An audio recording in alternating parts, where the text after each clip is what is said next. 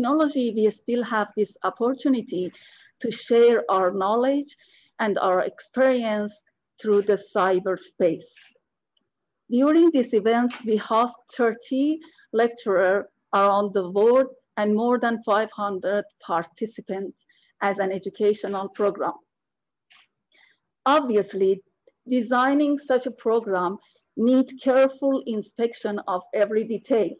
So let me express my gratitude for the effort of Professor Jalaifar and also Professor Shirkhoda, who is now in operation room, and all the members of um, organizing committee, especially international uh, relationship department of Tehran University of Medical Sciences.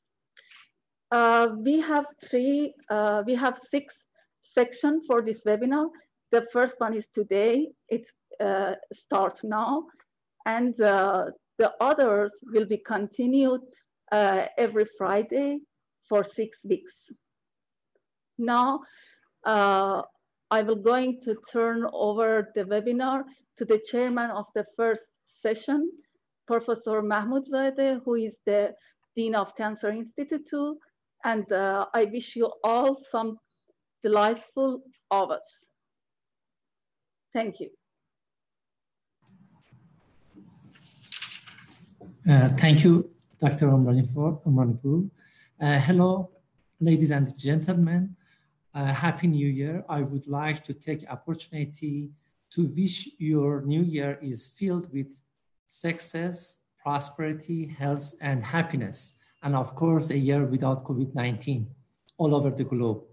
On behalf of Cancer Institute, I would like, uh, I have the honor to host you for, for the first program of the minimally invasive surgery webinar run by Cancer Institute of Tehran University of Medical Science. Here, I want also to commemorate Dr. Dashti, uh, who was our colleague uh, whom recently we have lost.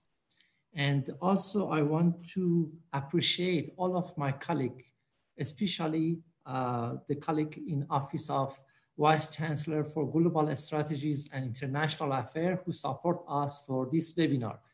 My special thanks goes for Dr. Jalaifar because in fact, the idea of this webinar uh, was firstly hashed by him. Uh, our first program uh, is dedicated to esophageal cancer minimally invasive surgeries. It's encompassed seven lecture, very interesting lecture by uh, very well-known scientists all over the world. And I hope you enjoy participating in this webinar and find it useful and effective in your practice. Now we uh, will look very shortly on esophageal cancer epidemiology and history uh, by this PowerPoint.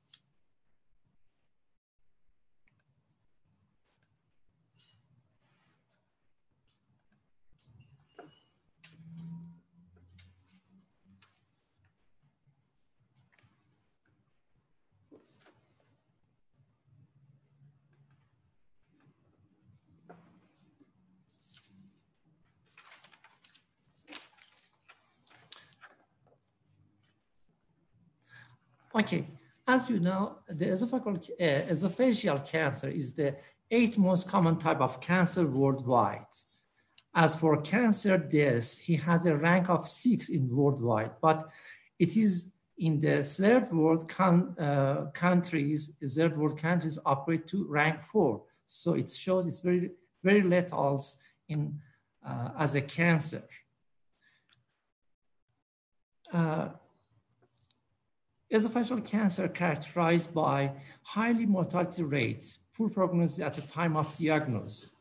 Unfortunately, we detect this cancer very late. As you know, dysphagia uh, as a symptom that the patient comes to us, we detected it when the cancer obstructed lumen of the esophagus more than 60%. So we, because of late diagnosis, uh, we detected in very higher stages. So the chance of uh, treatment is calmed down. And the as a geographic location, it's very variable. And you see the highest point of this cancer is located in the southern and eastern Africa and eastern Asia that we are now. And the lowest part is in the uh, western central Africa and central America. We have two common type of the pathology in the esophagus lumen, squamous cell carcinoma and adenocarcinoma. And uh, we are witness, uh, the point is that we are we faced with a noticeable rising trend in adenocarcinoma uh, in these decades. And it may be partially because of changing lifestyle or inc- and increasing the BMI of people and a better socio-economic situation. Uh, as a risk factor, we uh, will discuss in very detail in the first lecture. Uh, unfortunately, we have not an established and organized screening program for esophageal cancer, especially for squamous cell carcinoma. And for uh, adenocarcinoma, there is some, but it's not very, very um, effective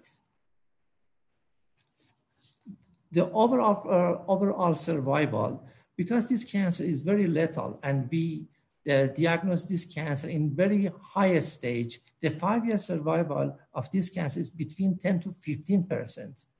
And uh, with the best effort as a curative intention, surgery and chemoradiotherapy, it, it increased to 40%.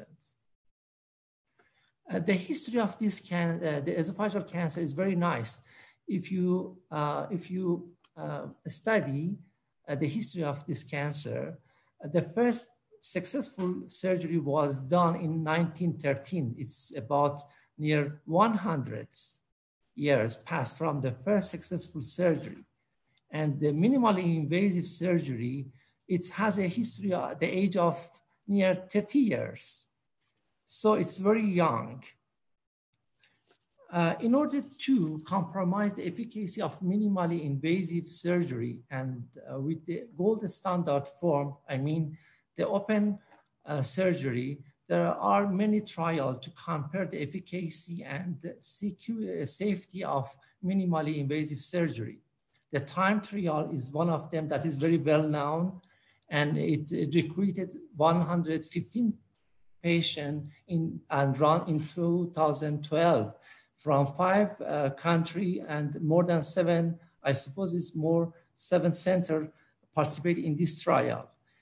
In this trial shows uh, the, uh, the superiority of this uh, procedure, minimally invasive surgery, in comparison to open surgery, because in terms of blood loss, acute immunologic response, uh, pulmonary infection, hospital stay, and pain score and also quality of life.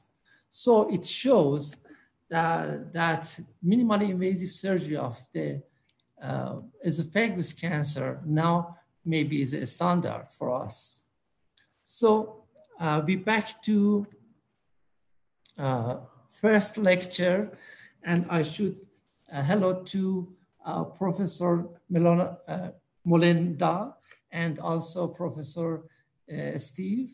And uh, I will be very happy to see you here. And I ask you, please uh, start your nice lecture. I, I, I, I wish it will be very hot topic and I will use it very, very uh, high. Thank you. I hear you.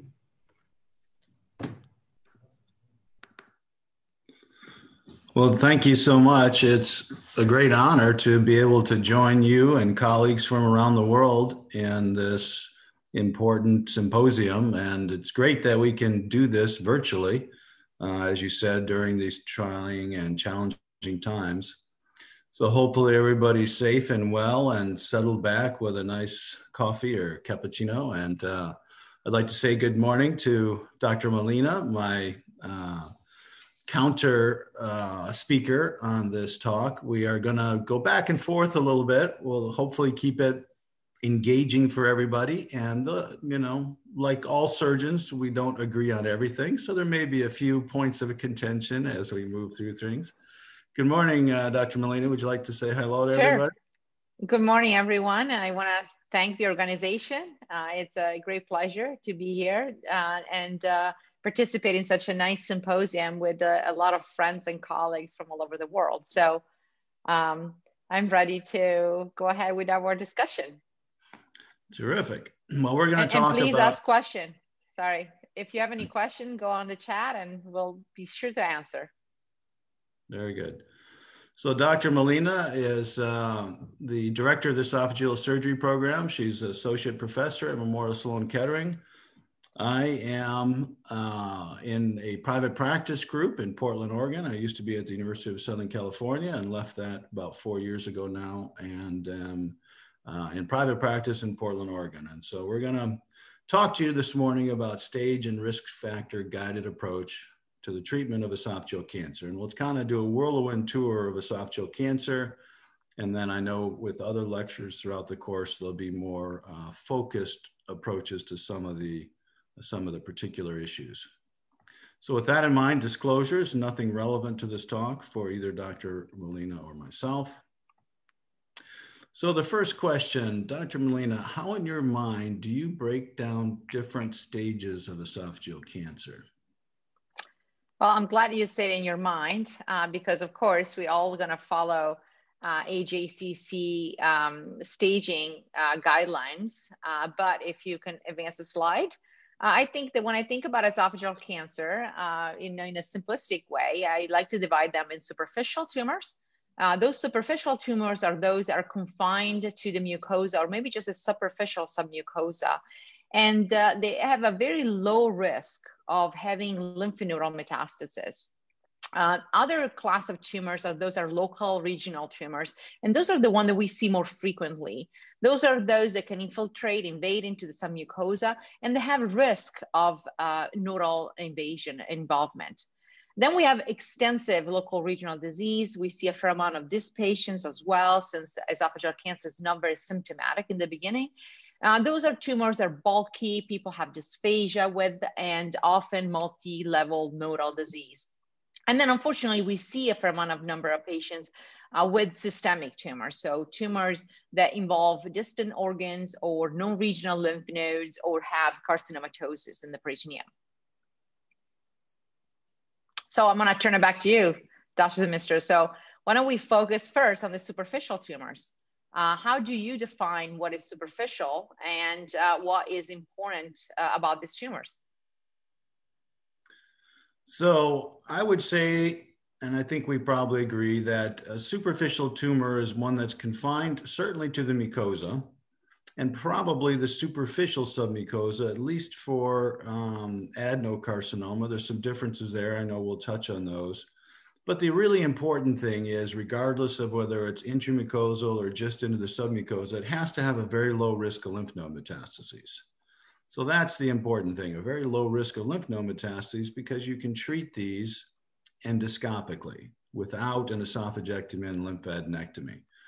But a key thing is that curative treatment is expected in these patients. So you can't compromise the survival from these tumors because very few patients with these superficial tumors should die from esophageal cancer. So you've got to keep that first and foremost. You were fortunate to find a curable lesion, and you really don't want to compromise the survival in that group.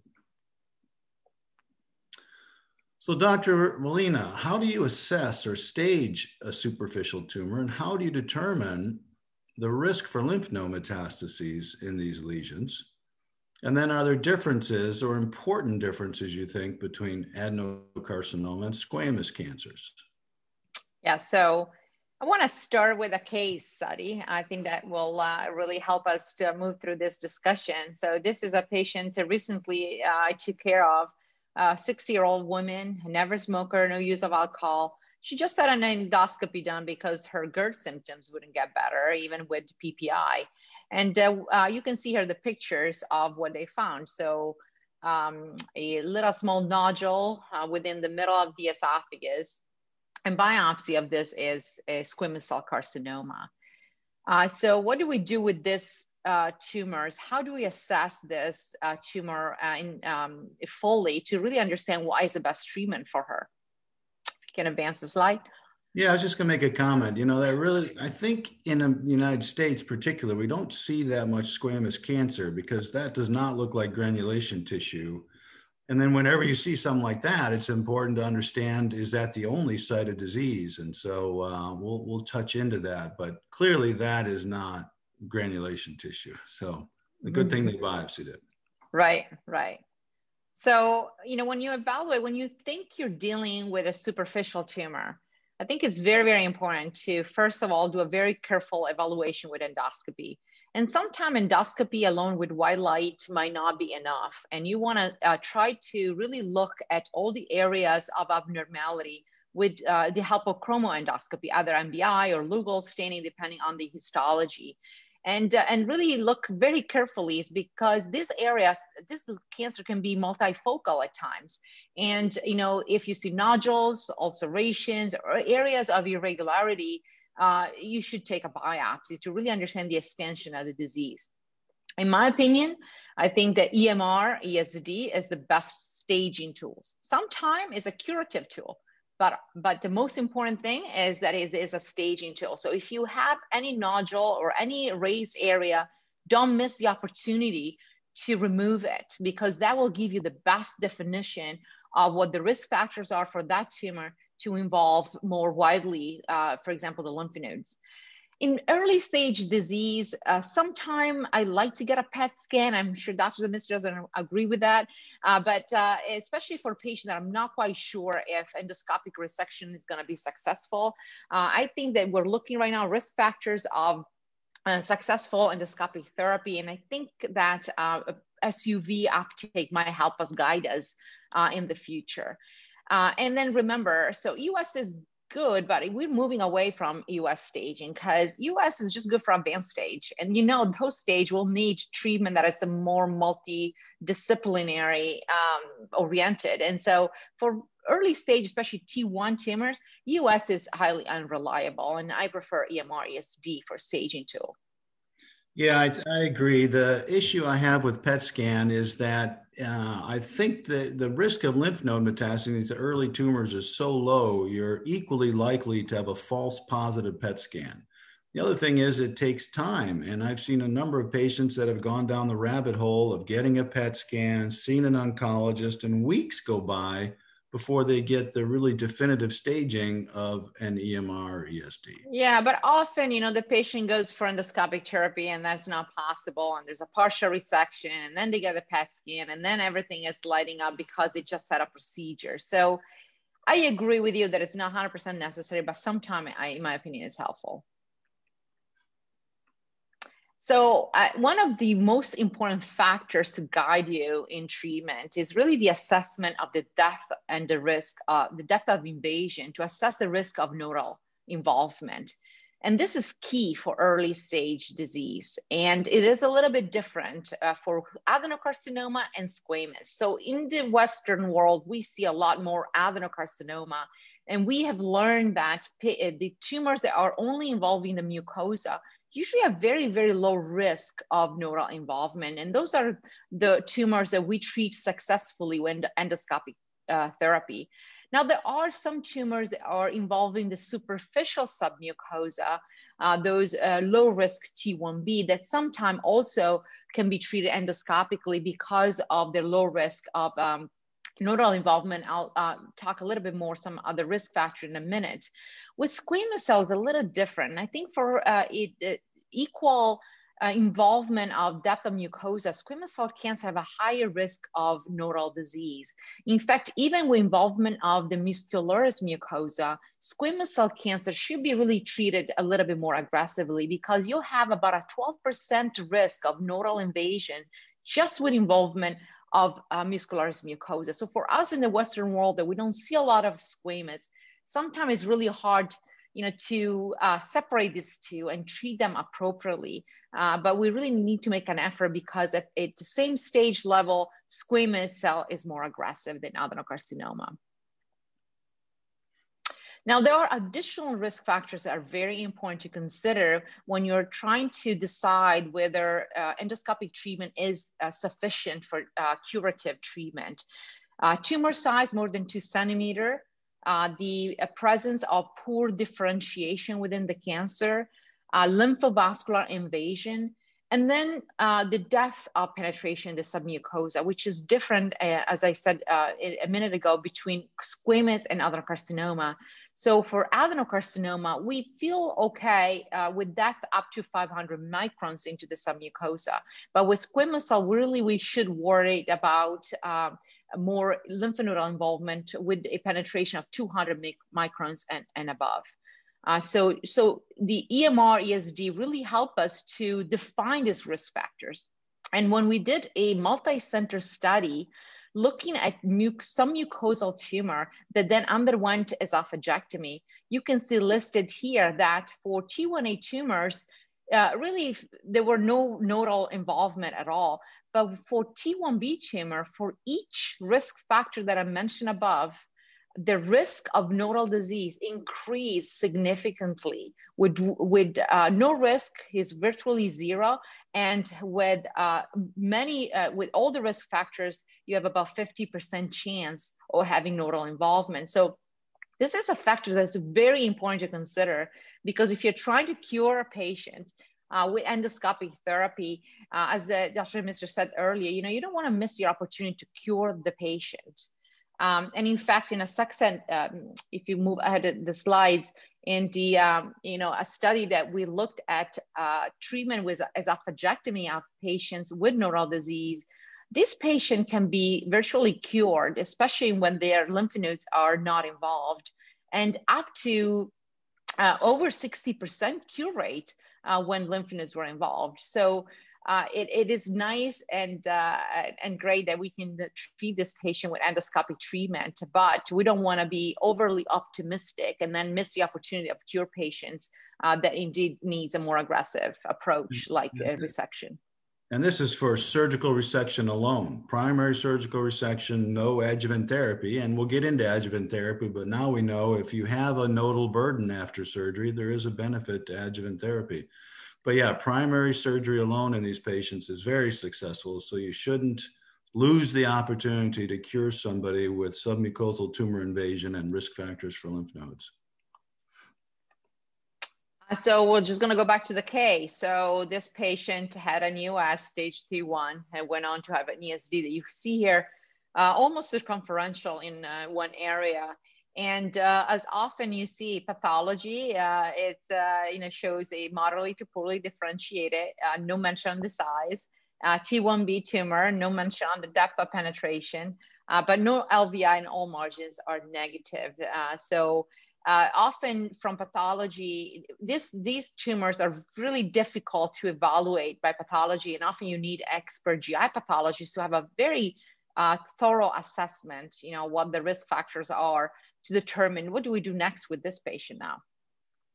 So yeah, in the absence of knowing the depth of submucosal invasion, then you're kind of not sure where you stand with the risk of lymph nodes uh, in this patient, huh? Exactly.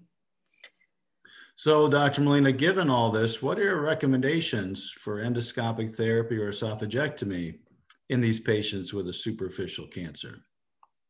So, I'm, I'm sure we're going to have some uh, disagreement on this as well. But in my mind, I keep it simple. And I think there are patients that, that for sure I would offer them endoscopic therapy. Those are all patients that have only high grade dysplasia of T1A tumor, that have a good esophageal function, uh, they're patient, they are reliable because endoscopic therapy is not one-stop shop. You have to come over after and after and after until all the Barrett's is eradicated and multiple endoscopies.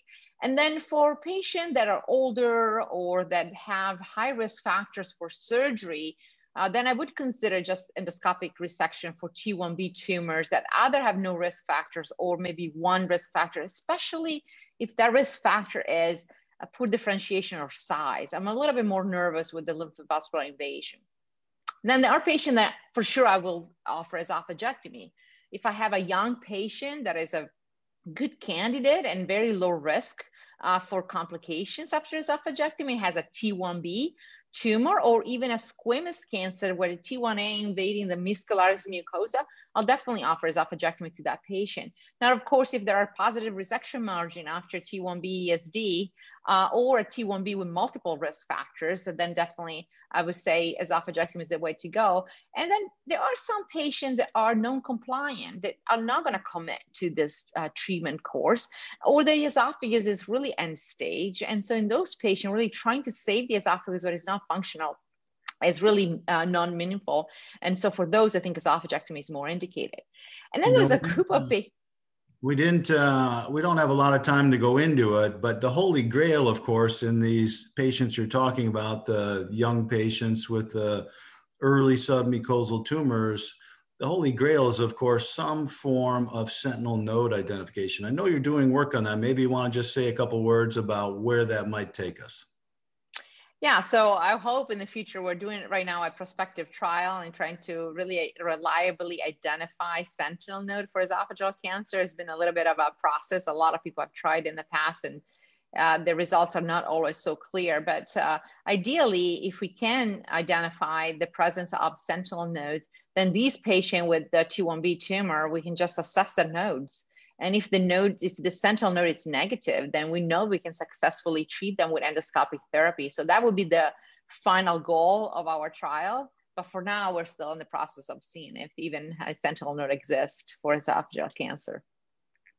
So going back to the case by case, so there are patients that it's not so straight cut. You know, you you want to have a discussion with the patient and see uh, where that will lead you. So if we have patients that are older, uh, or high risk for uh, for surgery and even if they have maybe one or two risk factors you want to have a discussion with them whether it's worth you know taking a chance with the surveillance or if it's more worth taking a chance with the operation um, also patients that are high risk with deep margins, sometimes the deep margins is very, very difficult to evaluate by pathology. And there might be some cauterized areas and there might not be any residual disease. Often we do surgery for T1B with positive margin and we find no residual disease in the specimen. So one by one case, especially in uh, uh, very high risk patients. And then sometimes in cases of multifocal disease where really eradication of the entire area at risk is very complicated. I don't know if you want to add anything to this, uh, uh, or if you add, if you also use kind of the same approach uh, to to surgery or to offering surgery yeah, to this patient. No, I think that's I think that's very true. There are times that I'll yeah, I'm a, a, huge component or a huge fan of endoscopic therapy, but there are patients with just extensive disease with uh, you know risk factors that I just know are going to make it difficult to get that disease under control that I think are best treated with esophagectomy. So yeah, there are certainly case by case variations from the the typical pattern.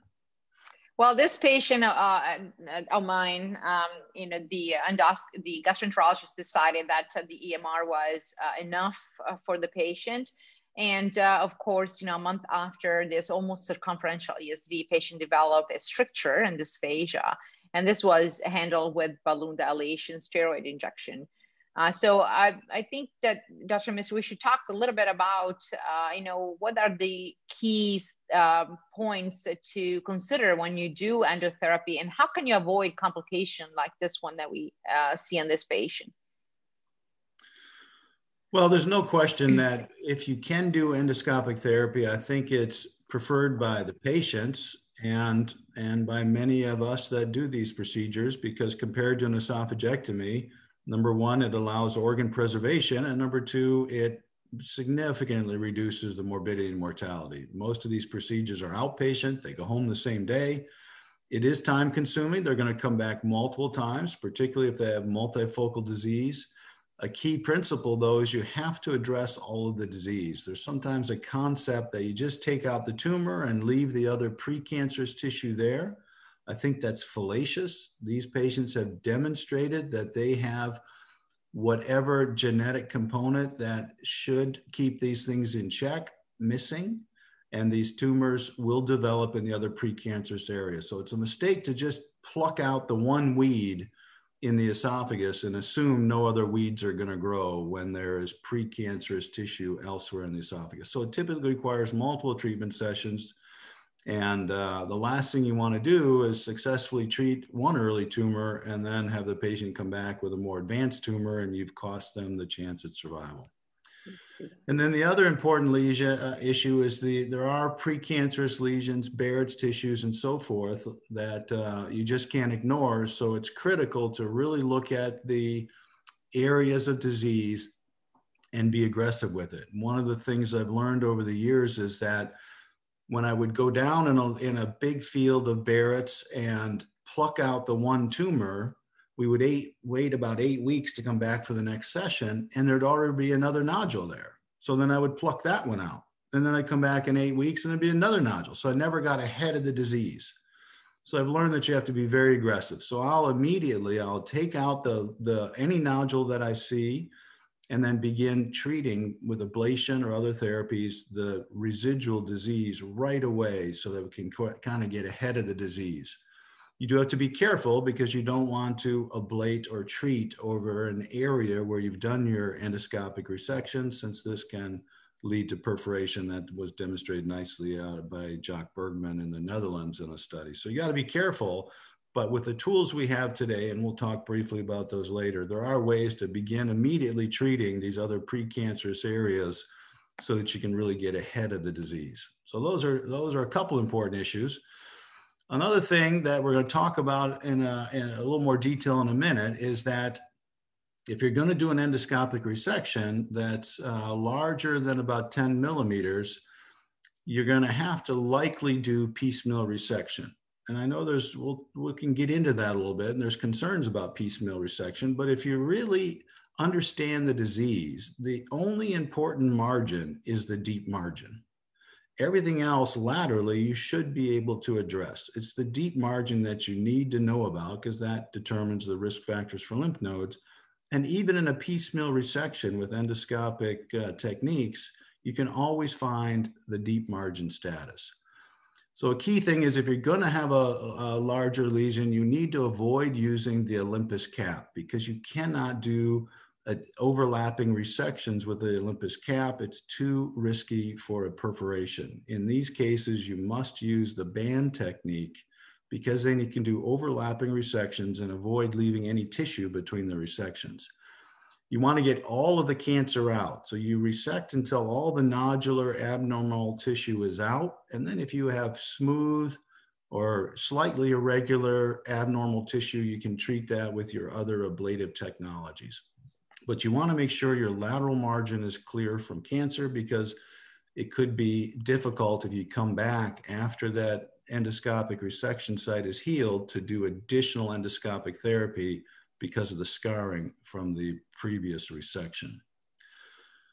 To reduce the risk of stricture, you really want to try to avoid circumferential EMR ESD. You don't you, you can stage these. You take out the biggest portion or the worst portion of the lesion, try to get just to the edges of sort of more normal tissue, and you can come back in eight weeks and get the rest. You don't need to do the whole thing at once because these strictures can be challenging to manage. So the risk factors for stricture are circumferential and very long. So if you add more than three or four centimeters and circumferential, you're almost guaranteed a stricture.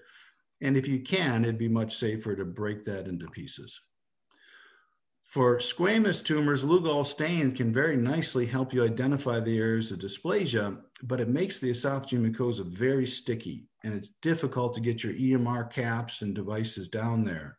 So you may want to go down and mark the areas of abnormality with your cautery tip or, or argon beam and then try to wash all that Lugol's off, and then you're going to have a little easier time getting your caps in. Recent studies have suggested that NBI is as effective as Lugol's, so you may even begin to move away from Lugol's if you're if you're comfortable using NBI to identify these areas of abnormalities.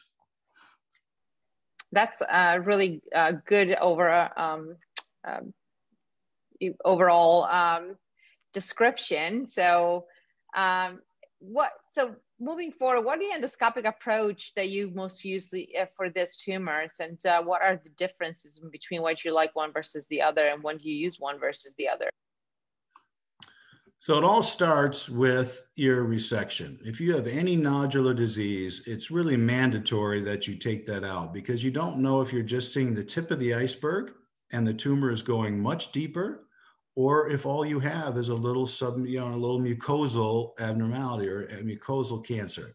So the only way to reliably know that is to take the lesion out, and that starts with your endoscopic resection. Most commonly, I use endoscopic mucosal resection. And on the, you see on the left side, the Olympus cap, these were the first things developed. And I was using these back in the, in the late 90s, early 2000s they make a very large cap and you can take bigger lesions out. The, the problem is that the, the device will suck up the muscularis propria. So if you do an adjacent resection, like for example, in the slide here, it's perfect for taking out that, you know, about eight or nine millimeter nodule. But if you had to take out a bigger nodule, you would not want to use that because of the risk of perforation. Instead, we use the band technique. And on the right-hand side here, you see the banders. There's several companies that make them. But you suck the lesion up into the band, into the cap, and then apply the band. The band is not strong enough to hold up the muscularis propria. So you can do overlapping resections and clean out large areas of the esophagus right down to the muscularis propria uh, in, in stages with this device. So I think these, that's an important issue to determine which cap to use based on the size of the disease that you need to remove at that time. Now, ESD is, uh, is very popular, and we'll talk about some of the issues there. Um, there are a number of knives and uh, cutting devices used for it. It's quite simple, although it's, it is challenging in some ways, but basically it's it's a submucosal space operation. So you incise the mucosa, you lift the submucosa up, and then take your knife and you follow that submucosal or muscularis propria plane, similar to a POEM procedure, and then excise that lesion. You can take out very large lesions en bloc, which is why it's been popularized.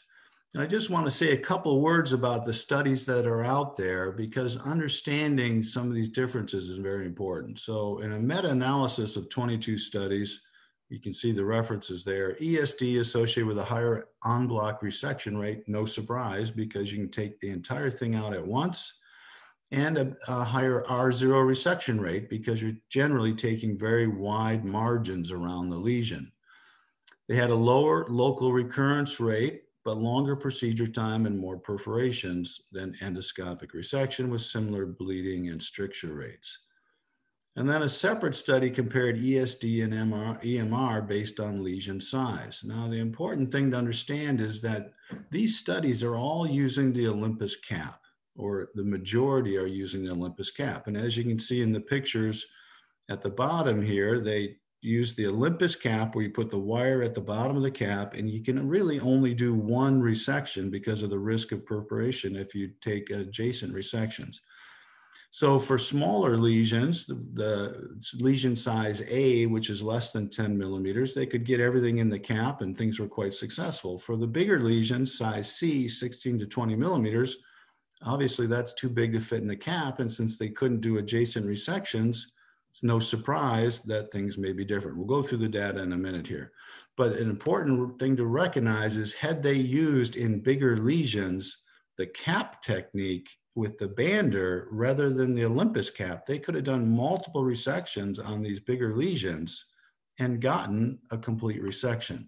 So this is the data. Remember, only a single resection with the EMR because they were using the Olympus cap. So clearly, the procedure time is much, much shorter, regardless of the group, for the endoscopic mucosal resection. But as you can see, as you work your way down, significant differences in the en bloc resection rate and the R0 resection rate in favor of ESD for these larger lesions. Again, because they only did a single endoscopic resection because they're using the Olympus cap. This all would have gone away if they'd used the bander and taken out the entire lesion in multiple bites with the band. Yes, it wouldn't be an en bloc resection, but they could have had an R0 resection, and that's all that really matters. So I disagree with the conclusions that ESD is superior, and I think you have to understand the technologies to know. And then, of course, uh, they showed that there was a higher use of additional ablation devices with the, e, uh, with the endoscopic mucosal resection, the EMR, because in these larger lesions, they couldn't get it all out with a single EMR. So understand the differences in the devices, and that helps you understand the literature is, is all I'm going to say about that. When we come to ablation technologies, we have so many opportunities. Radio frequency ablation has been used worldwide for both Barrett's, adenocarcinomas, and squamous uh, lesions. Again, you don't want to use these ablation devices, particularly the, the radiofrequency ablation on nodular disease because the depth of penetration is limited. You minimize the risk of stricture with these devices because it only goes to the muscularis mucosa. So it will not treat a deeper lesion. For deeper lesions, you have the opportunity to use cryoablation or photodynamic therapy. For long segment lesions, photodynamic therapy is very nice, particularly for squamous tumors. It works extremely well. It's been used on the skin for obvious uh, skin lesions, and it works equally well for early squamous tumors in the esophagus. And then for a very focal treatment, the argon beam coagulation is a, uh, a good option as well. So we have a lot of options for ablation of surrounding precancerous tissue, Key though is to get the nodular disease out with our endoscopic resection devices. All right, well, let's move forward a little bit. Dr. Molena, when do you use neoadjuvant therapy and what is your strategy for neoadjuvant therapy for each tumor type? And how do you factor in things like tumor location into your treatment algorithm? And is surgery always important? Well, that's a very long question, but I'm going to try to make it very simple this uh, description. So, unfortunately, these are the majority of patients that we treat, right? Uh, esophageal cancer is not very symptomatic in the early stage. You're very lucky if you go for an endoscopy and find a T1 tumor. But for the most part, people come in because of dysphagia. And when they have dysphagia, majority have a T3 tumor. And so those tumors are treated with multimodality treatment. And it's different whether the patient had a tumor located in the proximal esophagus or in the distal esophagus, but also I think histology is key for treatment uh, determination. So for cervical esophageal cancer, most of these patients are treated with definitive uh, chemoradiation. You know, the uh, the chance of losing uh, the vocal cords and larynx uh, is a uh, it's a it's a very life changing um, surgery, and so we really only. Uh, uh, keep that, op- that, that option for patients that recur after definitive chemotherapy and radiation. Luckily, squamous cell cancer have a good response to radiation, and so the only the minority of patient will recur and will need some type of uh, you know surgical treatment for their disease. Now, when you go to mid to distal esophagus, again, most likely um, the mid esophagus uh, will see squamous type of cancer, and uh, often areas of uh, um, a lot of you know airways or uh, aorta or pericardium around. So not a lot of wide resection is possible and the tumor is often bulky tumor. So for those patients, I think radiation really is key. And for squamous cell uh, cancer, I think radiation is really uh, important because of the sensitivity to it.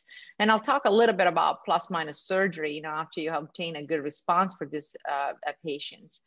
Uh, for adenocarcinoma, which we see them mostly GE junction or the cardia of the esophagus, uh, we are kind of moving away from the uh, cross regimen. Uh, as you know, the cross regimen carbotaxol radiation really has changed a little bit the way we treat this disease. And in the Western world, especially in the United States, cross regimen is so well tolerated that has become um, very commonly used and every patient with esophageal cancer is treated with cross regimen well if you remember the data on the cross trial, really that was uh, very good for squamous cell cancer, but the response rate for adenocarcinoma was not as good as for a squamous cell. And so we kind of moved away from the cross regimen for adeno. And uh, we'll show a little bit. We use more uh, chemotherapy, uh, 5FU uh, based uh, or we've switched away from radiation altogether. You know, these patients uh, with tumor in the distal esophagus don't have a lot of issues for resection, so we can be a little bit more aggressive with uh, the radial uh, aspect of the resection. And so we're less worried about radial margin, and therefore uh, radiation might not help us uh, in these situations. So I want to just show quickly uh, the CALGB 80803 trial, which is basically what we use at Memorial Sloan Kettering now for adenocarcinoma of the esophagus. And this is a protocol that is a PET-directed approach. Uh, therefore, we do a PET before and after uh, two cycles of induction chemotherapy alone. And with that, we determine whether the patient's tumor respond to that particular chemotherapy. And if it doesn't respond uh, on uh, in terms of PET decrease uptake, then we switch them to a different chemotherapy with the radiation. The, the bottom line is that these patients get a lot more chemotherapy. And honestly, I think that where we lose the game with adenocarcinoma is on the systemic disease. And so here we see better um, R0 resection, but then when also we look at disease-free survival and uh, overall survival, this is with just a uh, presented at GI ASCO last week. Um, um, the uh, our survival is improved when we give this patient more chemotherapy. Uh, so we have really changed a little bit the way we treat adenocarcinomas in this sense. Now, what do you do with a squamous cancer that had what we call a clinical complete response, right? I always have the call from the um, oncologist say, oh, this patient, all disease is gone, had a clinical complete response, which means PET is negative and endoscopy is negative and biopsy are all negative. What do we do with this patient? And often now we have moved to this like only if needed approach for surgery. And uh, we have done an analysis of our own patients and where we compare overall and disease-free survival of those patients that were treated with definitive chemoradiation and those that were treated with three modalities, so chemoradiation and surgery. And you can see here that those patients that had surgery had a better disease-free and overall survival. And when we looked at the details of these uh, patients, really the um, one that were treated only with the uh, definitive chemoradiation had a much higher local recurrence rate. And it's not always easy to uh, salvage them, especially for those tumors that are located in the mid of the esophagus, where there is a lot of vital structures around where you can't really always remove the tumor. Uh, so when we did our multi um, variable analysis, you know, only the addition of surgery was a significant factor uh, to determine survival on these patients. So, well, we go back to the case. Uh, so what happened is a little disappointing case because after multiple dilation for uh, this patient dysphagia, uh, eight months later, you can see her endoscopically, we can see some nodules. And a PET CT now patient seems to have not only uptake in the esophagus, but also uptake into a lymph node uh, around the stomach in the gastrohepatic ligament. Uh, so at this point, uh, patient uh, was treated then with a cross regimen. Remember, it's a squamous type cancer uh, and uh, underwent carbotaxol and radiation. And actually restaging um, uh, showed that the patient had progressed, and actually there was a lymph node that uh, higher in the paratracheal, right paratracheal space that was positive. So, as you see, this early stage disease uh, can become an issue if we're not uh, treating them appropriately. A patient had this esophagectomy, and the final pathology was a YPT1B N2. So three lymph nodes were actually positive uh, after after treatment. So that's the kind of you know outcome you really want to avoid. Here you have a patient with a relatively low risk submucosal lesion, from what we could tell, probably would have been cured with upfront primary esophagectomy, got an esophagectomy anyway, but in the interval, multiple dilatations, chemoradiotherapy, and poor disease at the end of it all. So this is this is a tragic story of of early cancer treatment. Right. And patient could not eat throughout all this time. So she was very happy to eat after the esophagectomy. So yeah. poor quality of life too. So let's talk about surgery. Dr. DeMeester, can you tell us a little bit what options do you use in terms of surgical resection and strategies for these tumors? Sure. We're going to kind of just uh, keep this brief because I know there's a lot of discussions about things. all of these different approaches can be done minimally invasively. And as we know, we're moving more and more towards minimally invasive approaches for the uh, benefits that that offers to the patients. Uh, for tumors below the carina in the mid to distal esophagus, I think the best surgical approach is an en bloc dissection, which involves removing the pleura, the azygos vein, and the thoracic duct. You, you end that extensive dissection at the level of the azygos arch, uh, and there's really no dissection of paratracheal nodes or recurrent laryngeal nerve nodes. In the abdomen, uh, then you resect the parahiatal, left gastric, porta hepatis nodes, and the anastomosis can be done in the neck or the chest. Three field dissection for tumors located at the carina or above. Here, you're going to focus less on the on the resection distally and more on the resection proximally because many of these nodes now will be in the paratracheal regions or the recurrent laryngeal nerve and cervical regions. So this then will obligate a careful dissection of those nodes and then typically a neck anastomosis because you need a bit of a margin in these patients with more proximal tumors. Transhiatal esophagectomy is, uh, has been around for a long time. It's a very appropriate operation in some patients. It's not a great oncologic operation, but we'll talk about um, the, the uh, lymph node burden and the relationship to the type of resection in a few minutes.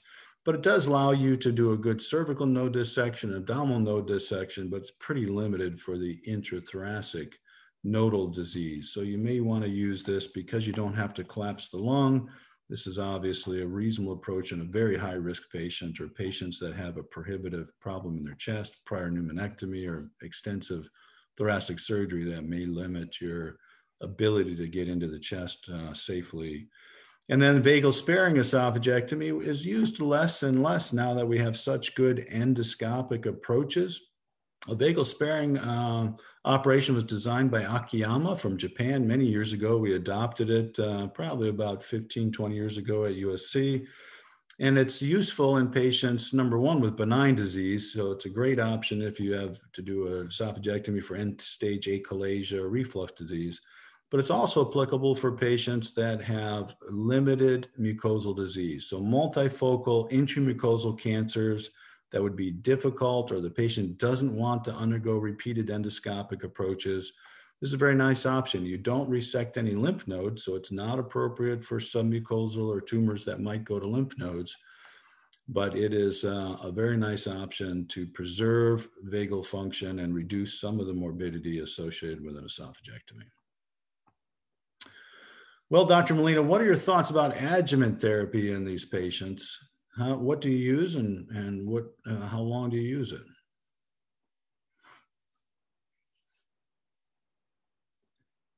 You're muted. I can't hear you. Sorry. So this patient that we had, uh, uh, you know, showed all the evolution of the course it, uh, a few months ago really wouldn't have had much option for adjuvant. Uh, as you know, all the clinical trials on adjuvant treatment uh, do not show any uh, benefit of adjuvant treatment after chemo, radiation, and surgery. And are, you know, some systemic reviews or uh, NCDB met uh, analysis that show maybe a benefit of chemotherapy. But I think the game changer is uh, this study, uh, Checkmate 577, that was just published, um, uh, that was just discussed actually at ESMO uh, earlier in um, the end of 2020 and uh, this study really showed a difference in survival uh, for patients that had been treated with chemotherapy and radiation, then had surgery, but still with residual disease, either in the esophagus or in any lymph node. And when this patient received nivolumab uh, for a year after uh, treatment, uh, they had a significant uh, disease-free survival improvement. So I think this is a game changer. Uh, we don't know a lot about immunotherapy. You know, there was a question in the chat about this. Uh, we don't know a lot about immunotherapy yet for esophageal cancer, um, especially in the neoadjuvant or adjuvant setting. Uh, we only had a lot of results on uh, metastatic disease, and it seems like squamous cell might be a, a tumor that responds really well to um, to immunotherapy. We have several phase one or two trial now looking at immunotherapy as a neoadjuvant option. Uh, and um, uh, so we'll see more and more of that use in the future. We, we do have a, a study at Memorial Sloan Kettering right now where we're looking at uh, durvalumab with chemoradiation, and we had a, a good response and increased number of uh, complete responders with that treatment.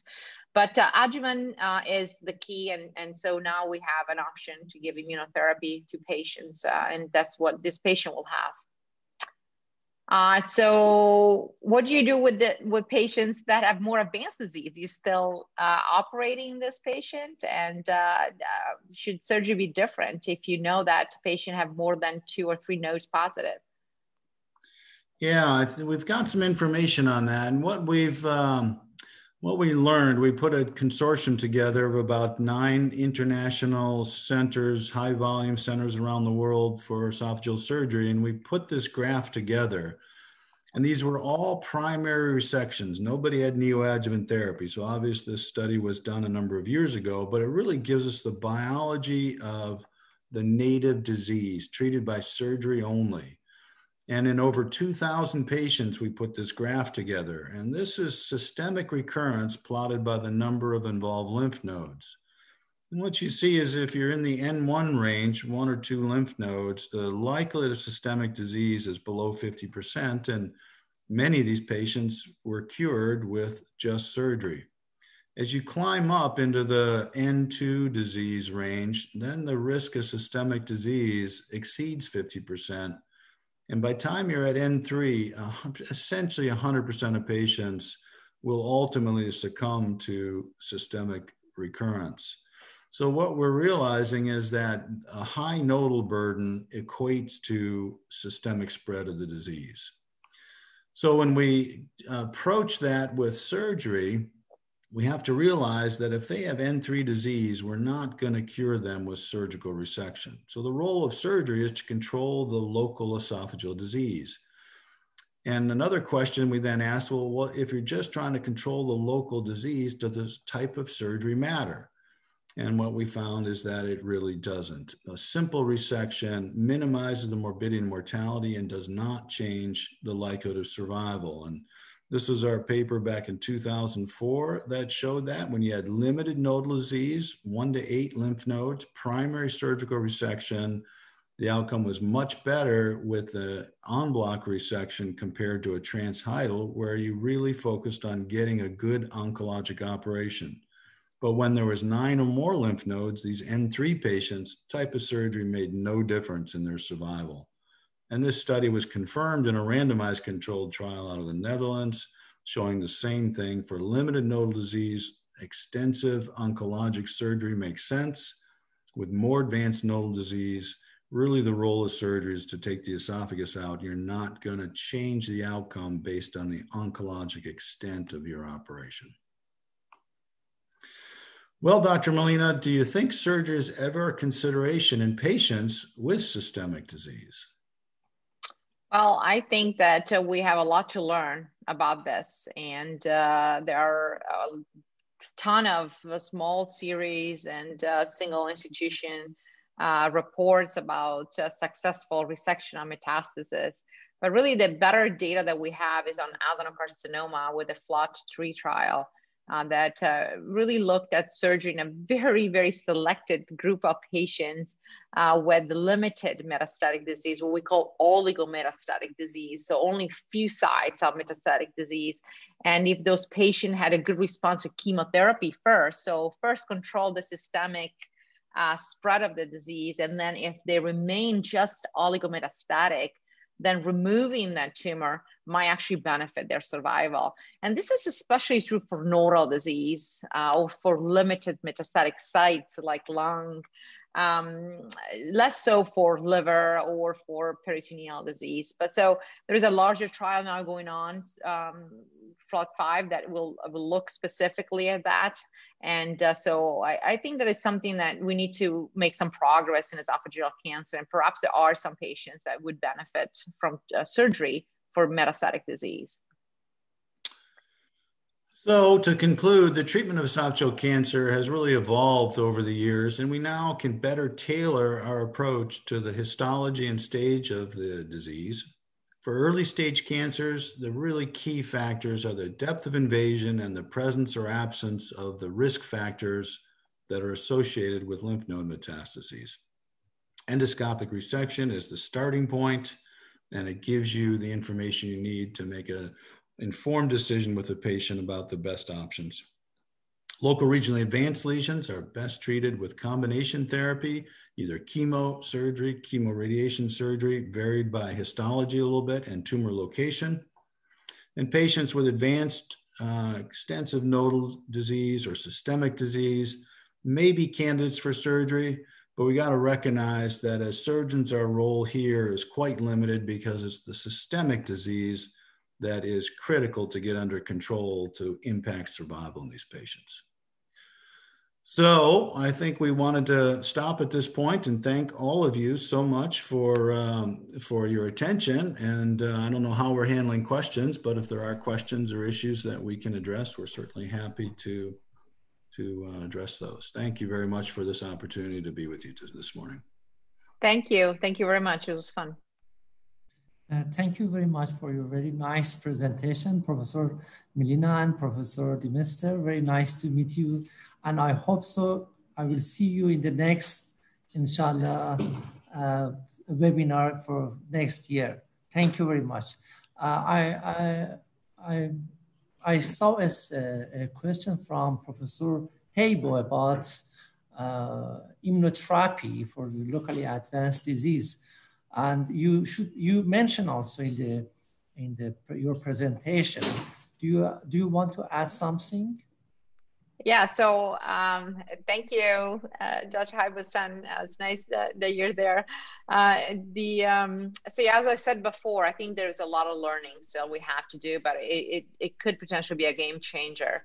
Uh, we um, looked at uh, CPS expression. Uh, it seems like when we have higher CPS expression, patients will respond better uh, to immunotherapy. Um, but in this uh, CheckMate 577, every, every, patient with residual disease did, did better, even when they're PDL1. They look at PDL1 rather than CPS.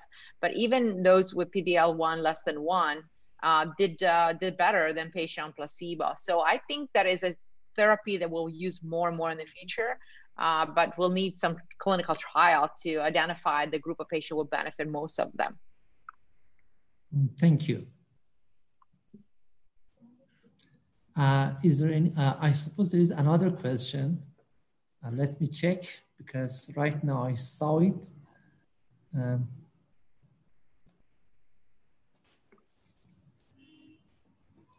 Uh, the question is that is the gold standard surgical technique as a curative procedure? What is the gold standard surgical technique as a curative procedure? Well, I think the gold standard as a curative procedure is a very good oncologic operation. And uh, depends where the tumor is located, but you must address the regional nodes for that particular tumor and location. So if it's a mid or higher squamous tumor, then you need to address the paratracheal and recurrential nerves and the cervical nodes. For distal adenocarcinomas, there had been in the past quite a bit of dispute about the need for uh, three field dissection, cervical node dissection. And Toni Lerut from Belgium was a big proponent of cervical lymphadenectomy, even with distal esophageal cancers. But for most of us in the United States, we've realized that the risk of cervical nodes is pretty small, and we're comfortable watching the neck and not doing cervical node dissection for distal adenocarcinomas. But importantly, a very extensive dissection from the azygos arch downward. So it depends. I think, you know, that we as surgeons absolutely can uh, bring survival to patients by our operation but we have to take it seriously and make sure we address the important lymph nodes or we compromise our chance for a cure in these patients. And thank you very much. And thank you for uh, on-time presentation. Uh, so we go for the next lecture. The lecture title is Tips and Tricks uh, for Esophagectomy in Prone Position by bon Professor Bonavina, is a professor, University of Milan Medical School, Director of Division of General and Foregut Surgery. Professor Bonavina. Hello, can you hear me? Of course. Okay, can you see me? I don't think so, but it's not important. I'll try to do. Please uh, your video, please.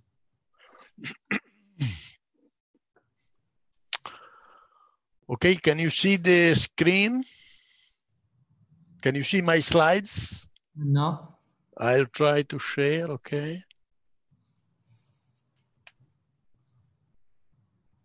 Oh, okay, right now we, we see your PowerPoint slide. Riesco a...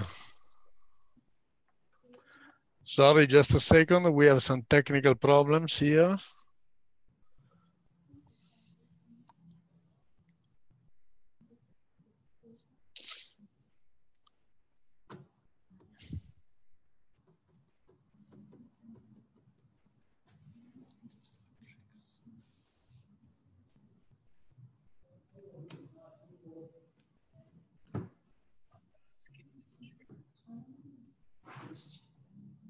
Ok.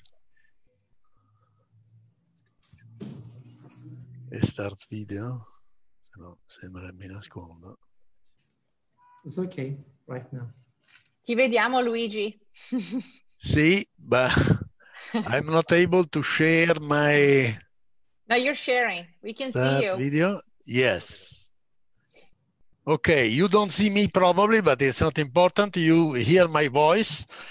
Uh, thanks. First of all, thank you very much for the invitation to this uh, international uh, panel. Uh, thank you, to, uh, Professor Mahmoud Zaeh, for uh, your moderation and invitation.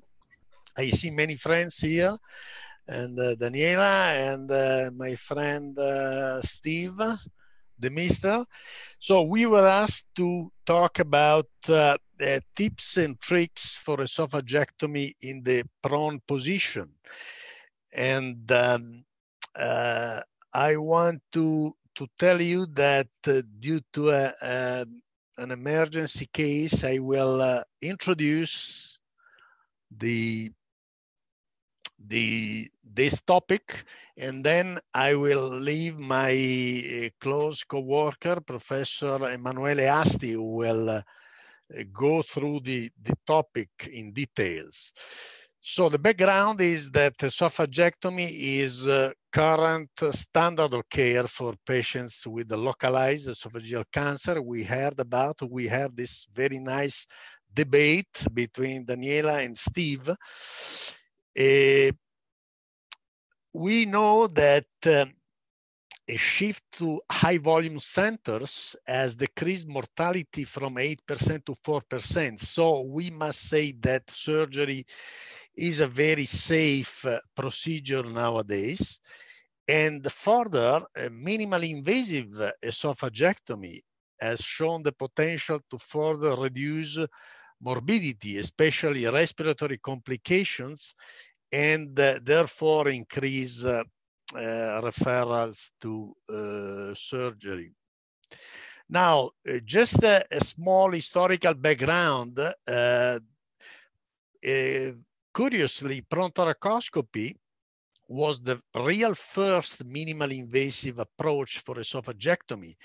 And Professor Cuschieri from Dundee uh, uh, de described this first back in 1992, just at the beginning of the minimally invasive uh, uh, era of uh, minimally invasive surgery. Uh, three years later, a Brazilian colleague showed that the feasibility of esophagectomy through a pure laparoscopic transhiatal approach.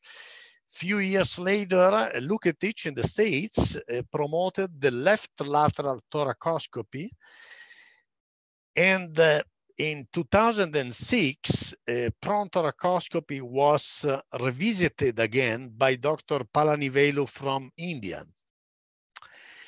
Uh, we, um, our, uh, our experience most most recent experience with esophagectomy started uh, uh, back in 2006 when we um, used to um, you you see here from this graph an increase uh, we maintain the hybrid Ivor Lewis approach because as you know in uh, in Western Europe, in Italy, adenocarcinoma is the most common uh, histotype. So we think that doing an anastomosis in the uh, high uh, mediastinum is still the approach of choice. But also in 2006, we started doing the uh, thoracoscopic first approach with the neck anastomosis, and we compare those two um, techniques. The thoracoscopic prone position, in our opinion, has uh, the advantage of being more physiological uh, for the for the uh, patient and also more ergonomic for the surgeon. You see that uh, in the in this position uh, there is no pressure on the uh, abdominal uh, wall so there is a preservation of, of lung function that allows uh, um, to um, reduce postoperative respiratory complication. And when having a two lung ventilation, this means that you uh, intermittently can ventilate the left lung. This is uh, different than the left side thoracoscopy. And then you conclude the operation with a neck anastomosis. Uh, further, uh, we developed and really uh, we, we adopted the thoracoscopic semi-prone position that in our opinion has uh, uh, uh, added advantages compared to the prone.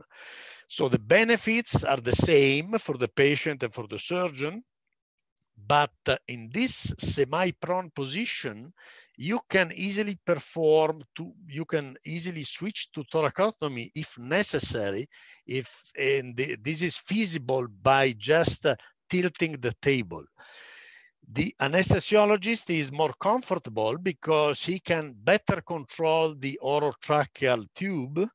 And also, if you need to do an intraoperative endoscopy, this provides access to the mouth compared to the prone position. So this is just a short introduction. I will be back in a while, but in the meantime, uh, Emanuele Asti will present our tips and tricks for prone and semi-prone esophagectomy. Emanuele, are yes, you ready? I'm, yes, I'm here. Thank you very much, Mr. Chairman, for hosting me here. Thank you for everybody. Uh, well, I can start sharing my presentation.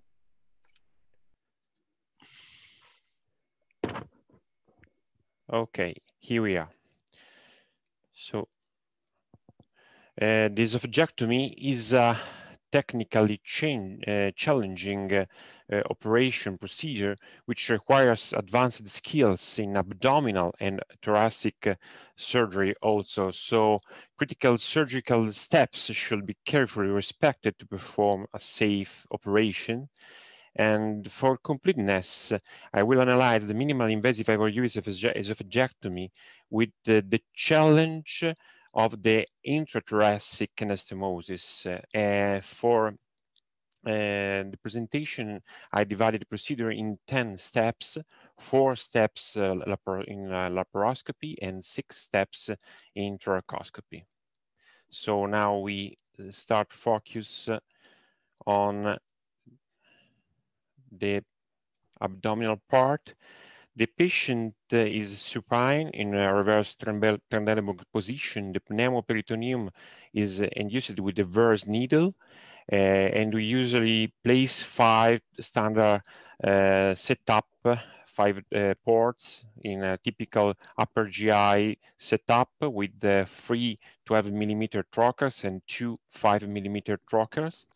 And we always start with a diagnostic laparoscopy and a careful check of the gastric uh, wall and potential involvement uh, of the abdominal nodes. We see here that we start with a hiatal dissection. Sometimes you can find huge tumors that are the, the, with the distortion of the normal anatomy.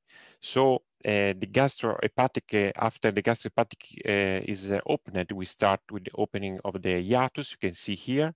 And also we dissect the posterior wall of the esophagus because the one of the first step of this type of surgery is to encircle the esophagus with uh, usually we place a tape or a easy flow like this that is closed with the with the Hem-o-lok and then we pass to to dissect the mediastinum in order to establish if there is uh, the resectability of the lesion. We can see here the right pleura. It's important for, uh, in our opinion, uh, avoid uh, the opening of the of the pleura if it's possible because it's important because it will result in the worsening of the respiratory functions and also it can give a distress, a sort of dyssynergic uh, dyssynergic uh, transition of the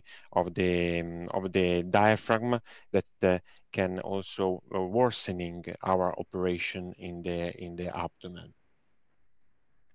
And one of the pitfall is, uh, as we, we have seen, the mediastinal dissection. It's important to avoid pleural opening. And if it happens, it can be useful to place a gauze and reduce, and reduce also the pressure of the pneumoperitoneum. And second one uh, is uh, always um, important to use a hemostatic device during the dissection of the periesophageal uh, wall around and in the close part to the aorta, because we know that we have a lot of arteries that comes from the aorta feeding the esophagus. So this is the video with the in uh, that represents a case where was opened accidentally the pleura. You can see here. So uh, we continue the dissection. As many patients have had radiation treatment, the dissection planes may, mm, between the periesophageal tissue and the pleura are often obliterated. So uh, inadvertent pleurotomies will result in a floppy diaphragm and that uh, can be very bothersome for the rest of the procedure. So uh, in this case can be useful to reduce the level of the pneumoperitoneum and place a gauze, a swab inside of the mediastinum in order to reduce uh, the respiratory distress. After that, you can see the use of hemostatic device during the periaortic esophageal dissection. Uh, we know that the blood supply comes directly from the aorta and it's important during this dissection to achieve a perfect hemostasis during this dissection. You can see here the left, left pleura. Okay. So one of the most important part of the operation is the mobilization of the stomach. It's important during the section, during the opening of the gastro colonic uh, ligament to prevent any damage to the gastroepiploic arcade.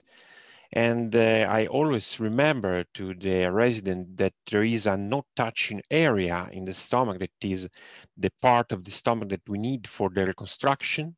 So I always say to the to the to the assistant uh, the minimal grasping of the stomach is very important is a common criticism of the minimal invasive esophagectomy because uh, if we use an aggressive grasper manipulation, it can lead to a beaten up conduit with a significant micro, microvascular trauma.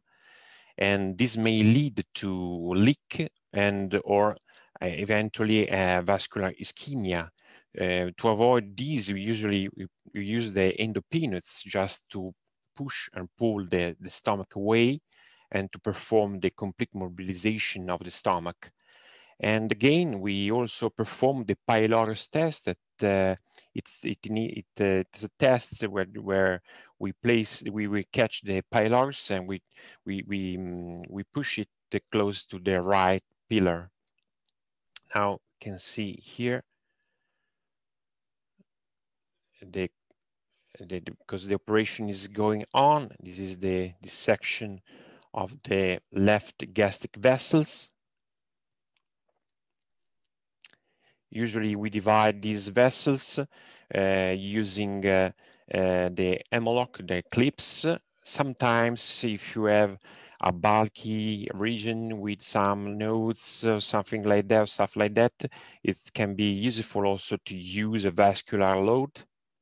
Otherwise, we usually replace two or three uh, clips like this. It's an easy case just for uh, presentation. And we continue the dissection, uh, completing a formal D2 lymphadenectomy. And then we can see here that we divide the lesser curvature vessels here, just opening the view in the retrogastric cavity. We can see here that we divide also the gastrocolonic uh, ligament going marching up to the to the pylorus and then it's important to avoid any grasping of the no touch zone, no touch area. Remember this, it's very important. And you can see here the that the, the stomach is pushed away and we march up to the spleen with the dissection using uh, ultrasonic scalpel it's another another tricky is uh, tricky region is the dissection close to the to the right uh, vessels. The, here we can see the pylorus test. The pylorus is here, and the right pillar is there. We can see that the the stomach is completely frayed. So uh, another another pitfall is the creation of the gastric conduit it's important to maintain a consistent width of the stomach, about four centimeters. How we can do that using the laparoscopic forceps as a reference. It's important, it's just a little, a little tip. And uh, it's important also to avoid spiralization of the gastric tube. It's important to check every time before uh, stapling to check the wall in front and rear and keep the stomach tense in order to avoid the zigzag suture. And how long the gastric conduit is, it's uh, sometimes it's difficult to, to clearly understand how much is long our conduit. So uh, we, we, uh, we, consider that it is useful to place a stitch in each uh, intersection of the staple line and there is uh, also important step, in, in particularly during the minimal invasive esophagectomy, where to place the anastomosis. It's, uh, in my opinion, in our opinion, important, interesting to place a stitch in the upper part of the stomach, in the apex of the fundus, that will be a sort of landmark to recognize the, the, the real position of the of the um, anastomosis. It would be just a little tricky in the thoracic part. And if, if we have, in some selected cases, sometimes, uh, for example, for patient that uh, has some vascular abnormality to the um, to arc to the vascular arcade, or in some cases with just a little bit uh, tricky during dissection or in patient that received a large amount of radiotherapy or chemoradiotherapy. Uh, it can be useful to uh, to, to, give to the patient infusion about five milliliters of indocyanine green and then check the perfusion with the fluorescence. You can see here all these steps this is the, the, the first step for the gastric conduit fashioning. Usually would place two stitches uh, about uh, at the third branch of the right gastric uh, artery. We place two stitches that are very useful to, to, to, to give traction and to present uh, the stomach to the staple. You can see here the 45 millimeters. Usually we use a purple uh, load. Sometimes you can use also a black one if the, the stomach is particularly thick. And we continue usually with two staple line, 45 millimeters, always uh, purple. You can see here that our typical stores uh, forceps is about four centimeters, four centimeters. So it's just to remark the right dimension width of the gastric conduit. And then we continue to 45 parallel to the gastric uh, large curvature. It's important to, to pull down the stomach in order to, you can see here that the assistant pull down the stomach in order to straight up the stomach and the, and the um, suture will be in the right position in order to avoid zigzag suturing. And also I can say that it's very important to go farther and farther up in the stomach because uh, you can see here also just a little mistake. It's important to see also um, behind. Otherwise you can, in this case, we can mm, perform a mistake. You can see it was uh, entrapped just uh, um, omentum inside. It's important to go in the upper part of the stomach because in the in the chest will be just a little bit tricky to, to, to divide the stomach. So we continue here. You can see placing the stitch in the upper part of the fundus and uh, some and uh, a stitch in each intersection line of the staple line. You can see. So at the end, we can check how many stitch we place. So this is the number of load that we use. So it's useful in this thoracic part. You can see there. Carry on. Uh, to prevent diaphragmatic hernia, a posterior suture of the crura is placed and the left temporally untied into the lower mediastinum. You can see in the in the following video. This is done because in our case here, we have a, a small number, a large number of long-term survivors, but a small patients, a small amount of patients with the complaining of symptoms suggestive of conduit compression. This was uh, due to uh, what we found with the imaging that sometimes this patient had the herniation of the typically transverse colon in the hiatus and we think that the closure with a stitch uh, during, uh, done during the um, this time of surgery can be useful to prevent the slippage of the colon. And uh, the closure of the stitch is done, as you can see, uh, in the thoracic part. And uh, it's important to remember that the closure should be snug enough to prevent herniation, but not too tight.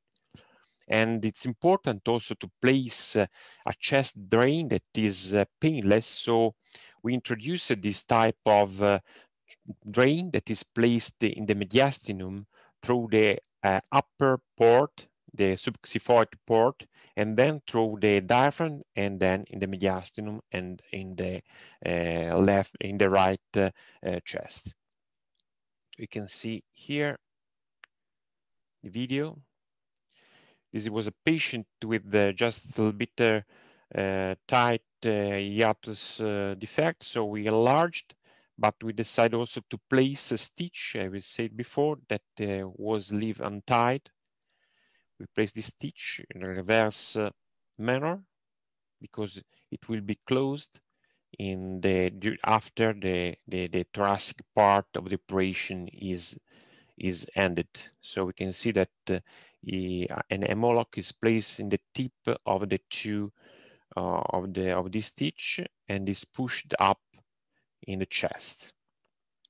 And also important to place this type, in our opinion, this type of uh, of uh, chest drain that is a very uh, low pain uh, drain is placed using the subxiphoid port.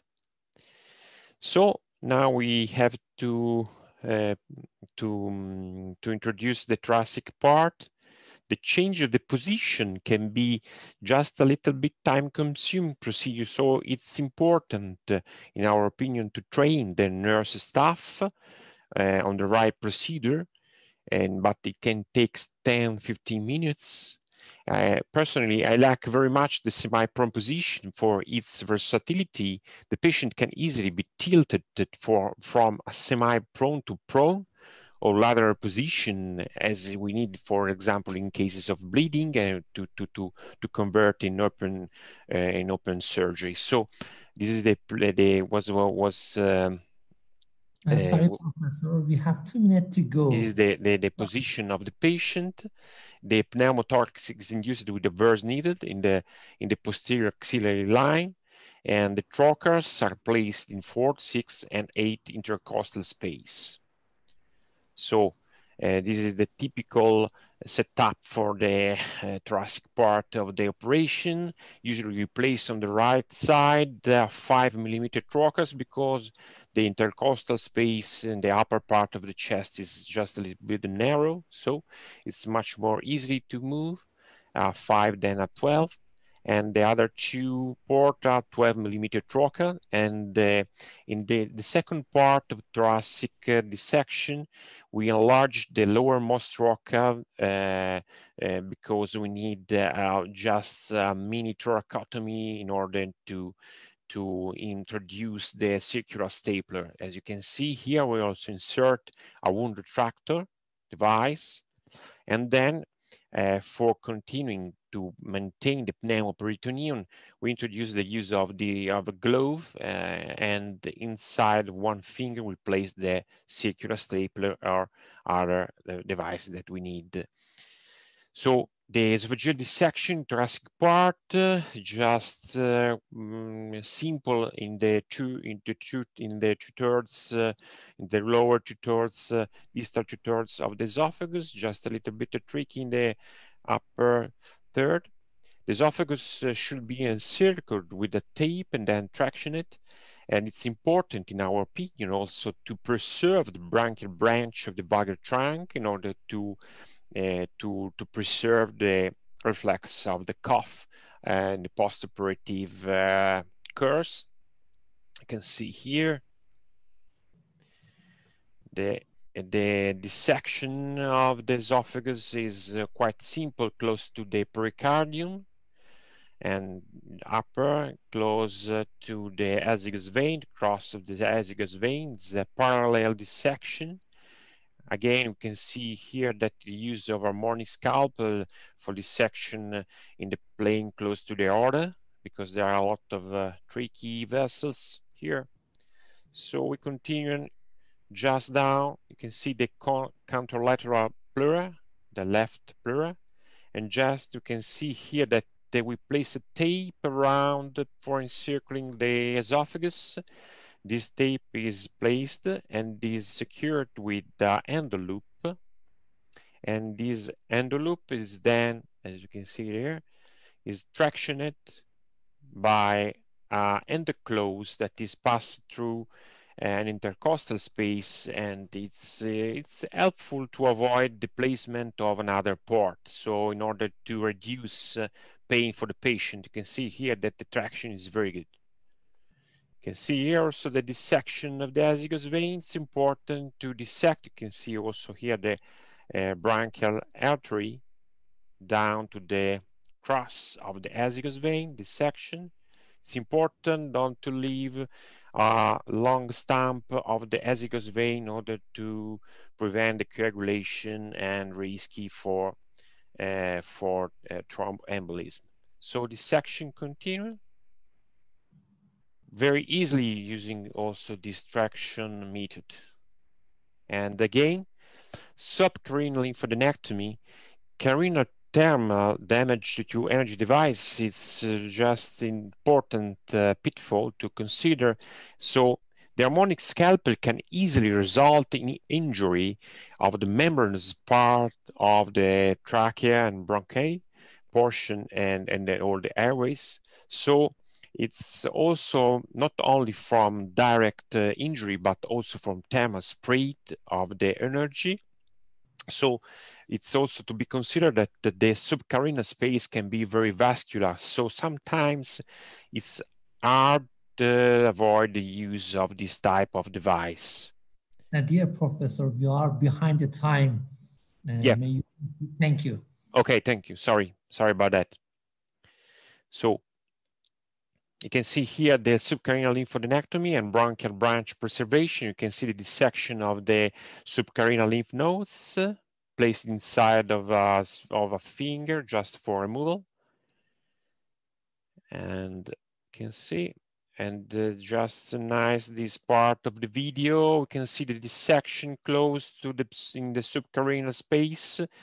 Just this is the uh, vagal trunk, and here we can clearly see now the bronchial branch that comes from the vagus nerve that is important here, vagal trunk and bronchial branch. It's important to preserve the bronchial branch. And it's important also to remove all nodes in this area. Also um, for adenocarcinoma, this patient had adenocarcinoma of the distal esophagus. In case of um, mid part of esophageal carcinoma, squamous cell carcinoma, it's also important to to dissect the upper part uh, of the mediastinum, the recurrential nodes, uh, and so on. Okay. Again, chest delegation. If the anatomy is difficult, it's possible to use a suture trap for traction to achieve easier and safer duct ligation. We can see just this short video. Uh, in this patient, yes, was uh, quite easy to reach the, the place where to to tie the, the duct. So just an opening in the in the um, pleura and dissection from the azygos vein, then dissection continue close to the aorta.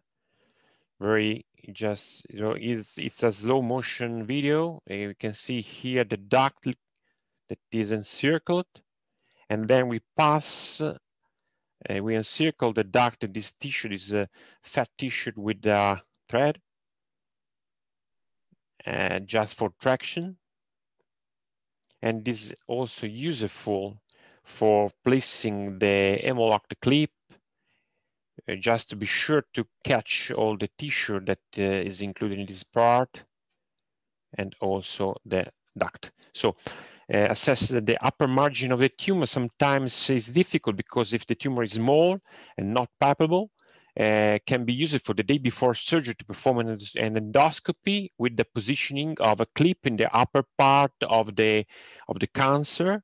And in the intraoperative uh, uh, course we can use ultrasound just to check in the upper part of the lesion just to check the presence of the clip just to be sure that the the the, the lesion is is in is in the, that place. In the case, for example, that we we had the, the lesion is very high and so on. So uh, the gastric conduit pull-up, it's very important to avoid any traumatic grasping of the conduit and check the complete transposition. And uh, as we can see in this video, the stitches that we placed before in the in the abdominal part of the operation can be very, very useful. It's important. There's more, there's more curvature that was dissected. It can be uh, can be pulled up. It's pulled up also uh, in the part of the esophagus. It's important to avoid touching in the part of the stomach or the conduit that will be used for the uh, for the anastomosis. So you can see here the, the stitch that we place in the apex of the gastric conduit. You can see here the surgeon avoids any touching of the gastric conduit. You can see the suture line. Suture line should be uh, close to us and the vascular uh, part. Uh, excuse me, Professor, we have no time. Yeah. Okay, I go fastest as I can. Um, upper esophageal dissection, avoid energy device for esophagotracheal dissection, prefer blunt dissection in case of upper part of the esophageal dissection. We can see here, it's very important to avoid energy use and pass through. Intrathoracic anastomosis, that is the topic. You can perform side-to-side -side circular anastomosis with a pushed anvil or a transoral anastomosis with an OrVil. The first technique, we perform a esophagotomy just to place inside the anvil. Uh, the anvil is also connected with a 10 centimeters uh, suture that we can that that is introduced through the mini thoracotomy. We that this is the mini thoracotomy. The anvil is pushed up in the esophagus, in the upper part of the esophagus, and then the stitch that is uh, connected is passed from inside to outside, and then when it completed, we divide uh, below the anvil with the uh, purple load, we divide the esophagus, and then we pull, uh, gentle pull the, the, the, the anvil outside of the esophageal stump. And then we perform the anastomosis.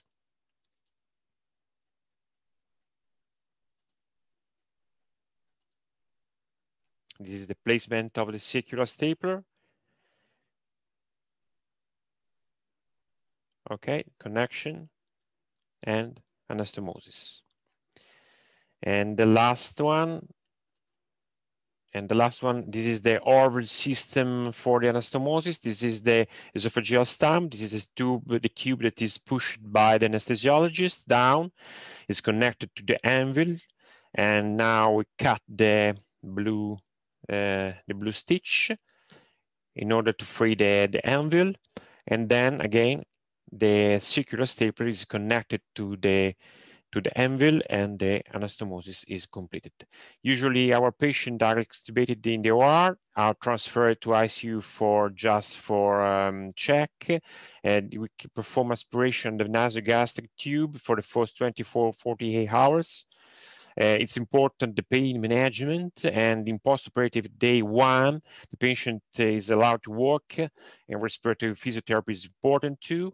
Postoperative day three, the patient is allowed to drink water sips and diet is gradually advanced and usually perform a gastrography and swallow study in postoperative day five. Thank you very much. Sorry for the late.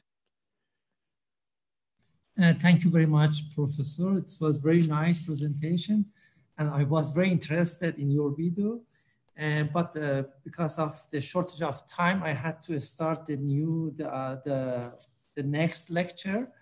Uh, I have a question. Uh, I try to uh, give the answer to the question in the next lecture. so the next lecture is lymphadenectomy in minimally invasive surgery by Professor Haibo Sun Department of Thoracic Surgery, Henan Cancer Hospital. As I know, the Henan Center is the biggest center for esophageal cancer in China. Professor, I'm at your service. Okay, thank you. Can you hear me? Yeah, of course. Okay.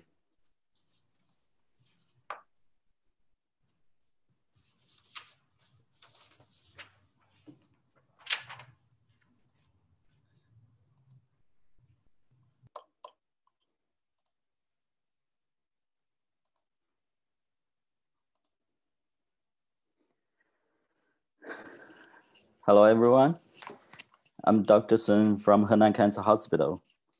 And uh, first of all, I want to thank Dr. Mamazide for inviting me to attend this international meeting. And uh, I'm very happy that I meet Dr. Molena and Dr. DeMeester and all other uh, international experts in the field of esophageal cancer treatment. So thank you very much. My topic today is about lymph nodes dissection in minimally invasive esophagectomy. Uh, it was my great uh, honor to visit Gorgan in May 9, 2019, and I had a very happy time there. And uh, uh, I was impressed that uh, Iranian colleagues all worked very hard in the field of esophageal cancer treatment. And uh, I believe that the work you have done will improve the treatment for esophageal cancer. Uh, today, I would like to talk about uh, three topics. The first is the history of uh, surgical treatment for esophageal cancer. Then I would like to talk about uh, the lymphatic drainage of the esophagus. And uh, finally, I, I will show you some videos about lymph nodes dissection in minimally invasive esophagectomy. Uh, this is the geographical distribution of the incidence of esophageal cancer around the world. And as you can see that China is one of the countries uh, with the highest incidence of esophageal cancer. While in China, the different provinces uh, have very different incidence of esophageal uh, cancer also. In Henan province, uh, Henan province is one of the provinces with the highest incidence of esophageal cancer in China. And uh, our hospital was founded in 2017 uh, just uh, because of the fighting of esophageal cancer. Then I would like to give a quick review of the surgical treatment for esophageal cancer. Uh, as Dr. Mamoudzad mentioned, uh, Dr. Franz Torek in 1930 performed the first uh, successful left thoracotomy esophagectomy for esophageal cancer. And uh, after that, a lot of pioneers contributed to the improvement of surgical treatment for esophageal cancer. In 1945, uh, Dr. Sweet from MGH improved the surgical, surgical treatment in left thoracotomy and esophagectomy. And in 1946, Dr. Ivor Lewis from UK improved the surgical techniques in right thoracotomy esophagectomy. And this procedure is still very popular around the world. And uh, uh, Dr. Andrew Logan, also from UK, improved the surgical techniques for en bloc esophagectomy. Uh, in Asia, especially in Japan, surgeons focused more about uh, lymph nodes dissection in the surgical treatment for esophageal cancer. Uh, in 1980s, Dr. Akiyama reported his studies in three-field lymph nodes dissection for esophageal cancer. And after that, Three-field lymph, lymph nodes dissection is a standard procedure in Japan. In 1984, Dr. Orringer from University of Michigan improved the surgical treatment, uh, surgical techniques in transhiatal esophagectomy. And uh, in 1990s, Dr. Luketich from Pittsburgh improved the minimally invasive esophagectomy techniques. And today, minimally invasive esophagectomy is a standard treatment in many medical centers in China.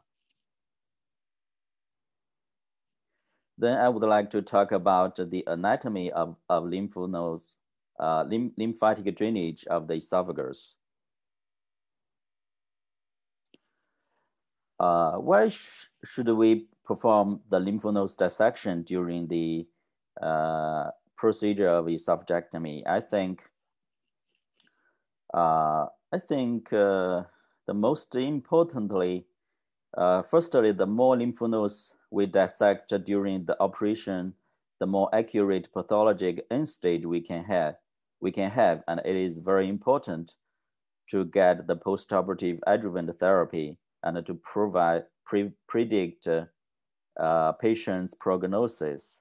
And secondly, the aim to dissect uh, more lymph nodes is to improve patient prognosis, although it is a very controversial issue, but uh, many previous studies show that increased lymph nodes dissection could improve patients' prognosis. Well, for patients with esophageal cancer, lymph nodes metastasis is a very early uh, event. And uh, previous studies show that the incidence of lymph nodes metastasis is, a, is more than 20% for patients even with uh, T1B disease. And this is why we should pay much more attention to lymph nodes dissection for esophageal cancer.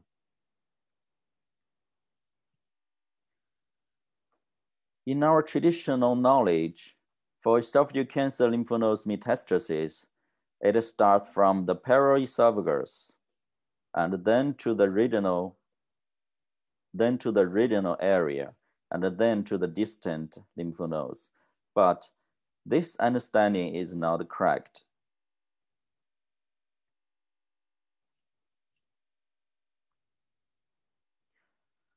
Then let's see the anatomy of lymphatic drainage of the esophagus. Submucosal lymph vessels of the esophagus extend caudally, uh, that is the left gastric artery lymph nodes, and cranially, that is the recurrent laryngeal nerve lymph nodes. Uh, paraesophageal lymph nodes communicate with intramuscular lymph vessels, and the communication between the submucosal lymph vessels and intramuscular lymph vessels is rare. So when a tumor invades submucosal layer, it more likely metastasizes to uh, recurrent laryngeal nerve lymph nodes and the left gastric lymph nodes, but not paraesophagus lymph nodes. And when the tumor invades the muscular layer of the esophagus, the paraesophageal lymph nodes metastasis will happen.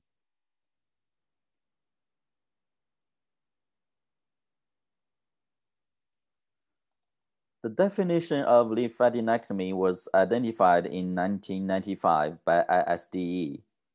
Uh, if we dissect the lymph nodes below subcarinal area and abdominal area, it is named as the standard two-field lymphadenectomy.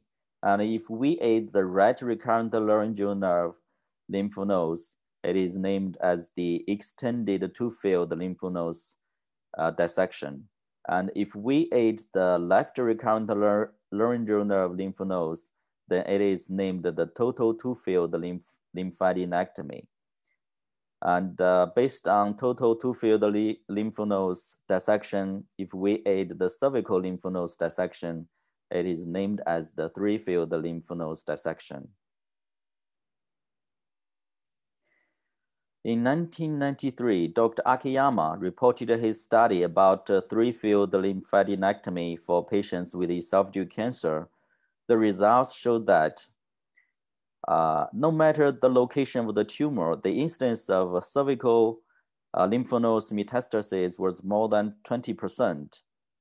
And in our, in our cancer center, total two-field lymphadenectomy is a standard.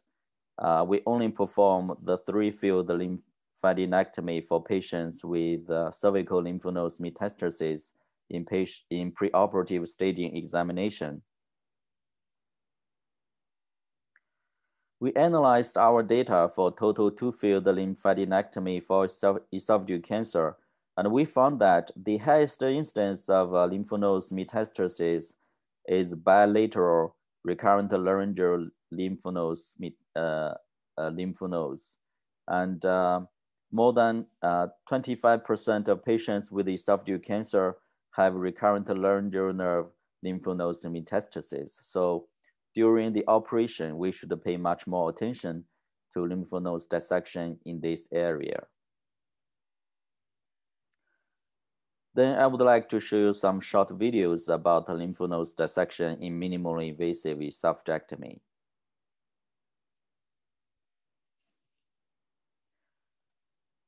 And for recurrent laryngeal nerve lymph nodes dissection, uh, well, for the thoracic procedure, I think patients, uh, uh, the bilateral recurrent laryngeal nerve lymph nodes dissection is the most important part, and it is the most difficult part uh, because the space is very narrow.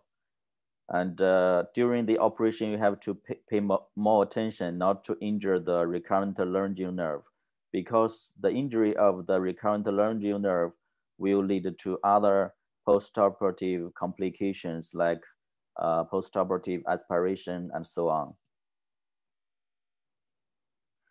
And for the thoracic procedure, we put the patient in a semi-prone position and use the artificial pneumothorax.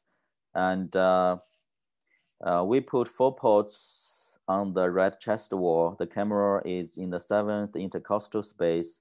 The operator's trocars are in the sixth and in the fourth intercostal space. And uh, the assistance is in the, the trocar is in the ninth intercostal space.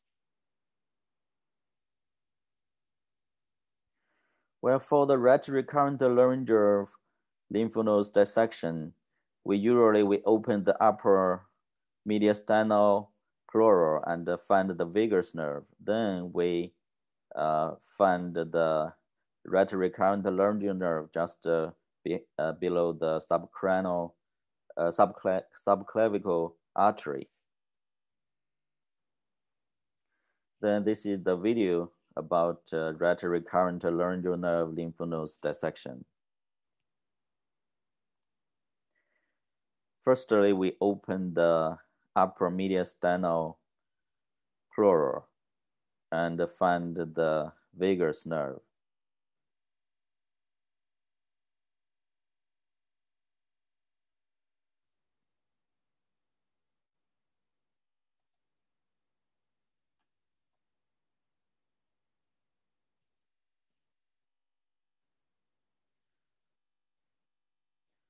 You can use the energy to cut the very small vessels.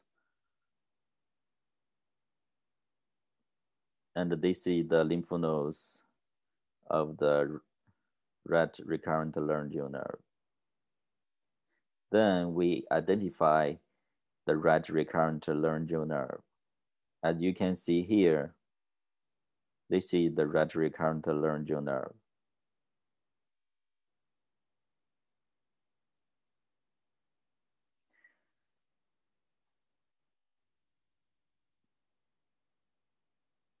After identifying the right recurrent laryngeal nerve, and we use the energy to dissect the lymph nodes in this area.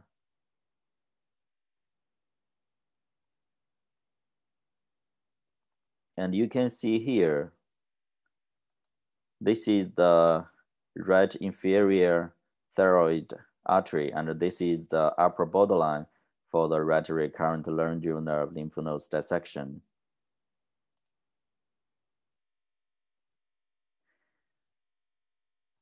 When you push the lymph nodes to the esophagus side, and it is easy to dissect the lymph nodes from the esophagus.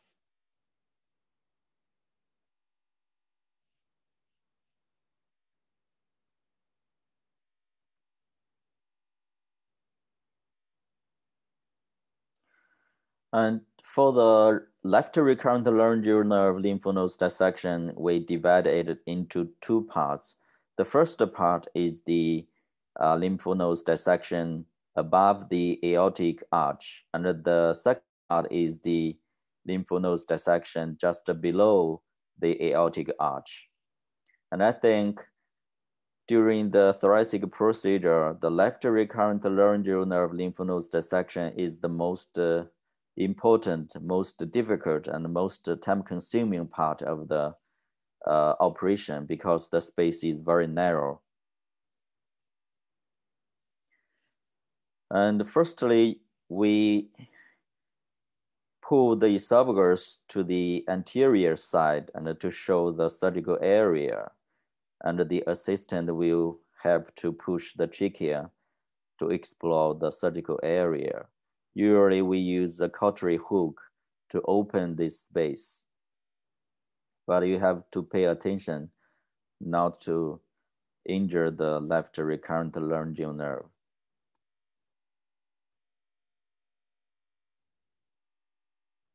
As you can see here, this is the lymph nodes just along the left recurrent laryngeal nerve.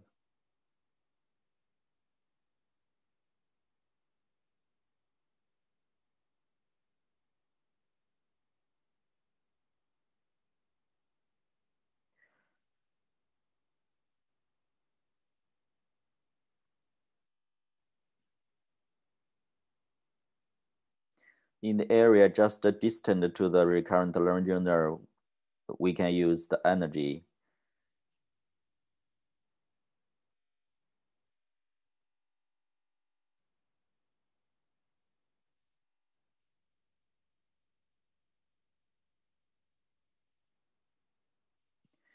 This is this video shows the lymph nodes dissection in just below the aortic arch. And uh, firstly, we just open the space just uh, above the left main bronchus.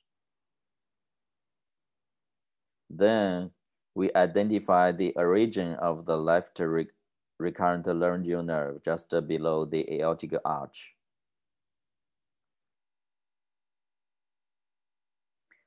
And you should uh, be careful here because as you can see here, this is the left, left main pulmonary artery. Uh, if you, the, the cautery hook is deep, it will injure the left main uh, pulmonary artery.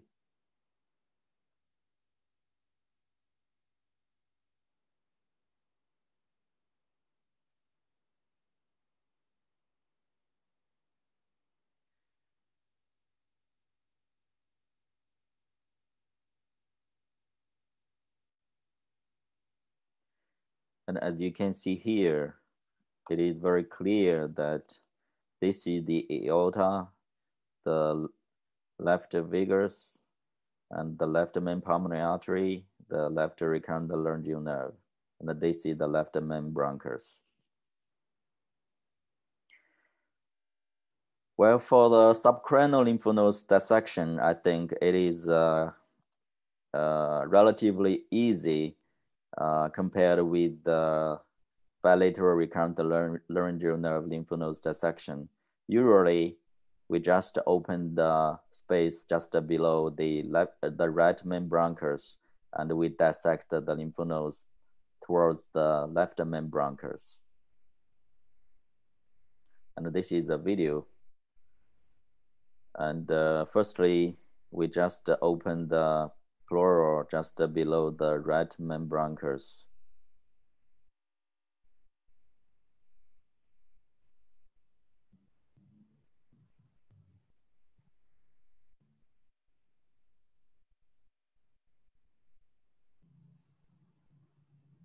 And then we use the harmonic scalpel to dissect the lymph nodes.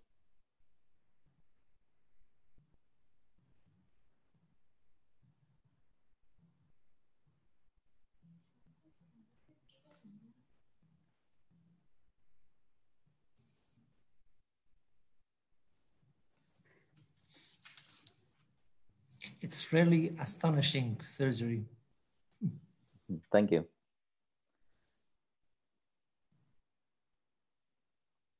And sometimes you may see some uh, uh, bronchus artery just uh, below the subcarinal area, but it's okay if you use the ultrasound scalpel to dissect the bronchial artery.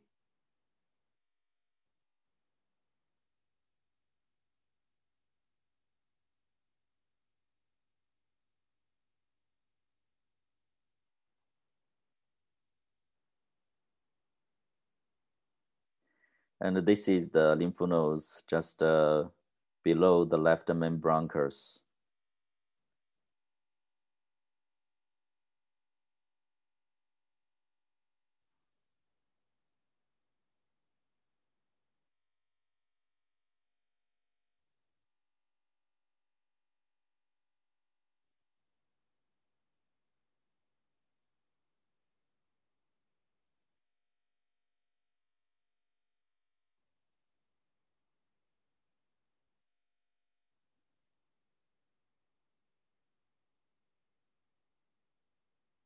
Then we finished the lymph nodes dissection just in the subcarinal area.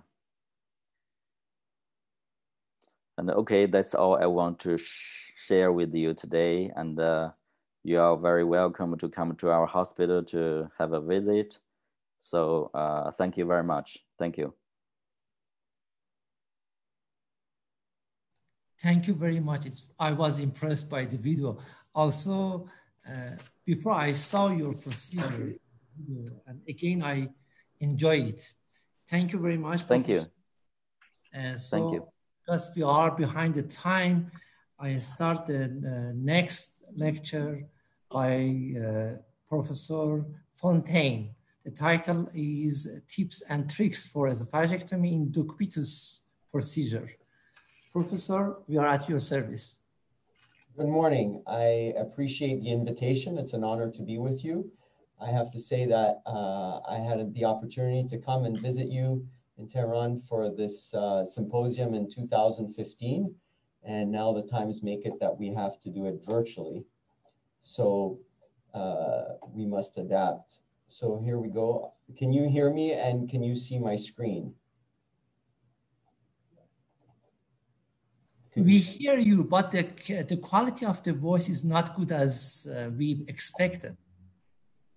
Okay, I will. Uh, I will speak louder. And uh, can you see my screen? Uh, yes, of course. So you can see the video. Okay, very good. Yeah. Okay. So uh, I will be speaking about our experience here at Moffitt Cancer Center. The majority of patients that we see have distal esophageal or G junction tumors, and most of the time, as you know, adenocarcinomas, which makes it that the majority of our resections may be slightly different than uh, what Professor Sun uh, showed in terms of the lymphadenectomy. So this is a very typical case of a distal esophageal adenocarcinoma. It was locally advanced with some subcarinal lymph nodes we stage our patients with CT scans as well as PET scans and with an EUS. This patient had a T3N1 lesion with positive subcarinal lymph nodes. As Professor Asti uh, mentioned, we do place fiducials and uh, so small metallic markers at the proximal end of the tumor. And that's really to help guide not only to tell where the original tumor was at the time of the surgery, also to guide for radiation therapy. So in terms of neoadjuvant therapy, we give neoadjuvant therapy for T2N0 and above uh, for all these patients that can tolerate neoadjuvant therapy. We usually give them, although there are different protocols, we don't follow the cross protocol. At Moffitt, we give cisplatin with infusional 5-FU, and we give uh, intensely modulated radiation therapy. We give 50.4 gray to the tumor itself. It's gated for respiration using a 4D PET scan. And uh, we dose paint the tumor, just the tumor itself to 56 gray. One question I would have to the panel for later discussion would be if seeing that there's several patients or a significant percentage of patients who have lymph node metastases in the cervical areas was nicely illustrated with uh, uh, from Dr. Sun's does the radiation go all the way up to the cervical area as well? Uh, and are you able to do that with low morbidity? So on, when we do is we just target the tumor uh, and the regional lymph nodes, but not the cervical lymph nodes when we're treating G junction tumors, which is the majority of our patients. Uh, we usually restage the patients with another PET scan, and we usually do it about four to eight weeks after completion of chemoradiation. And as long as there's no evidence of tumor progression or metastatic disease, we offer them surgical resection. So here's this patient that was restaged, and there's still some minor FDG avidity in the subcarinal lymph node. Uh, it was nicely illustrated by Dr. Sun, the history of, of esophagectomy we usually perform the Ivor Lewis, a minimally invasive Ivor Lewis, uh, rather than a transhiatal. Uh, the reason we don't do minimally invasive transhiatal is the fact that we feel that, uh, and that's our, only our own opinion, that we feel that the cervical incision, uh, cervical site uh, for the anastomosis has higher rates of uh, dysphagia, higher rates of recurrent laryngeal nerve injury, and that with a circular stapled anastomosis, and a robotic approach, an Ivor Lewis, you can get an anastomosis that's very close to cervical, uh, where a cervical anastomosis would be, meaning at the thoracic inlet. So unless a patient has an upper thoracic esophagus, esophageal cancer, uh, we usually perform an Ivor Lewis for all G junctions and mid-thoracic esophageal tumors. For in the interest of time, uh, I will just skip here. Uh, we feel that uh, robotic surgery, we're, uh, we're very fortunate to have uh, access to a robot. We feel that there's some advantages to a laparoscopic or thoracoscopic approach. Obviously, some of the disadvantages is the cost of the robot, the cost of the instruments, and also the lack of tactile feedback, a feeling in the hands like you would with thoracoscopy or thoracoscopy. But certainly there's major advantages to robotic, which may be touched on by other presenters. It's better dexterity. The instruments are wristed. The instruments are smaller. There's more precision because there's scaling of motion meaning for every millimeter your hand moves on the joystick inside the patient, the instruments move less. So you can have more precision. There's of course the magnification of the 3D um, camera. And lastly, and I think that's the most important advantage to robotic surgery is the computer interface between the patient and the surgeon. And that computer interface and the software that will be coming out because in my opinion, robotic surgery, is still in its infancy, although the robot was first used in humans by Intuitive in 99, got FDA approval, we're still in the infancy. And I think that computer interface with the new software coming out is the future. We always start off with our own bronchoscopy, especially for mid-esophageal tumors and uh, an endoscopy to be able to tell the extent of the tumor, but also to the extent of the Barrett's if there is Barrett's, because if possible, we'd like to resect all Barrett's as well. I will skip all the, I will skip the, some of the, uh, the abdominal portion because Dr. Asti showed a very, very nice video. And in the interest of time, I'll just uh, mention some additional rather than to repeat the videos and things. So for the abdominal portion, what we do is that we do uh, a pyloromyotomy. Uh, yes, some people uh, perform with uh, Botox. We do a pyloromyotomy. Robotically, we Kocherize the duodenum. We place a feeding tube in all our patients. As was rightly mentioned, we avoid getting into the pleural cavity until the last minute. And we also, like Dr. Asti mentioned, we also place a drain. I use a 19 French Blake, which I actually place in the left pleural cavity through the abdomen. And the reason why I place in the left pleural cavity, is to be able to drain any fluid uh, that may accumulate postoperatively. And we like to place it through the abdomen rather than between the left ribs, as uh, this is more comfortable for the patients.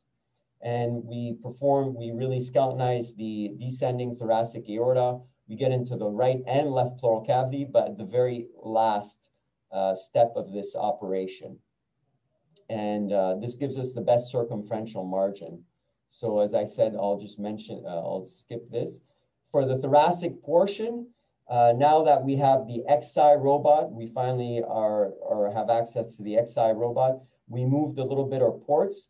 So we place the patient in the lateral decubitus position and we just tilt the patient. We find it easier to just place like a regular thoracotomy position, lateral decubitus position, and then we just use the bed control to tilt them a little bit. So it's not really prone or semi-prone, it's just a mild tilt.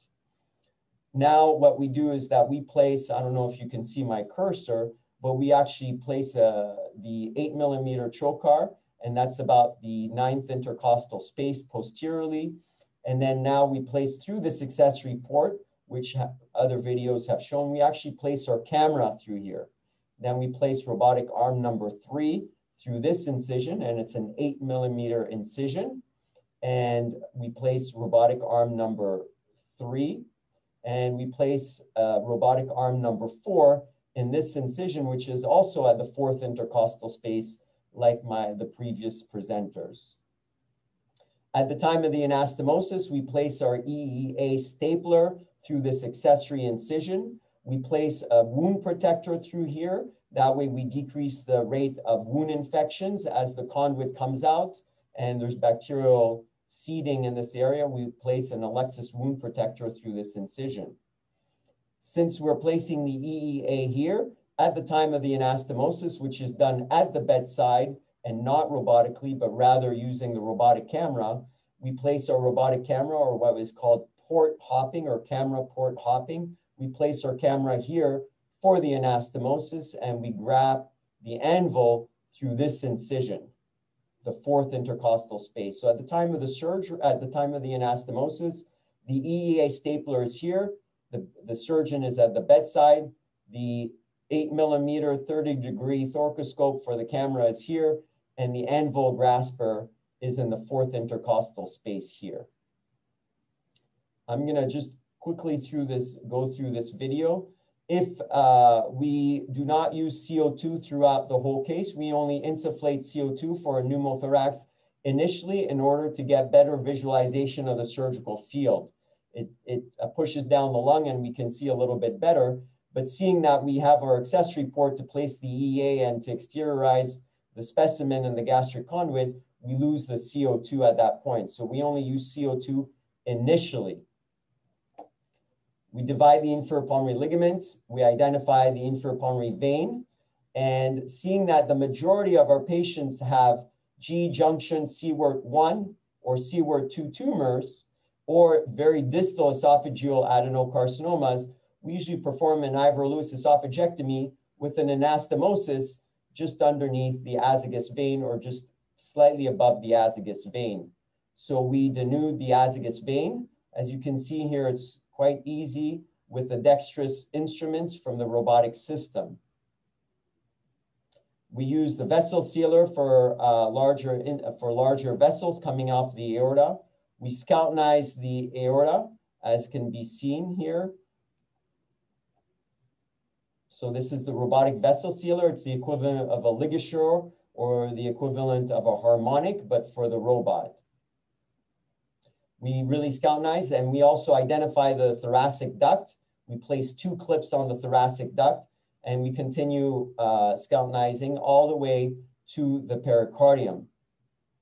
We perform our lymphadenectomy of lymph node number eight, lymph node number nine, lymph node number seven en bloc with the tumor. Dr. Sun very uh, elegantly demonstrated a recurrent laryngeal nerve lymphadenectomy on the right and the left.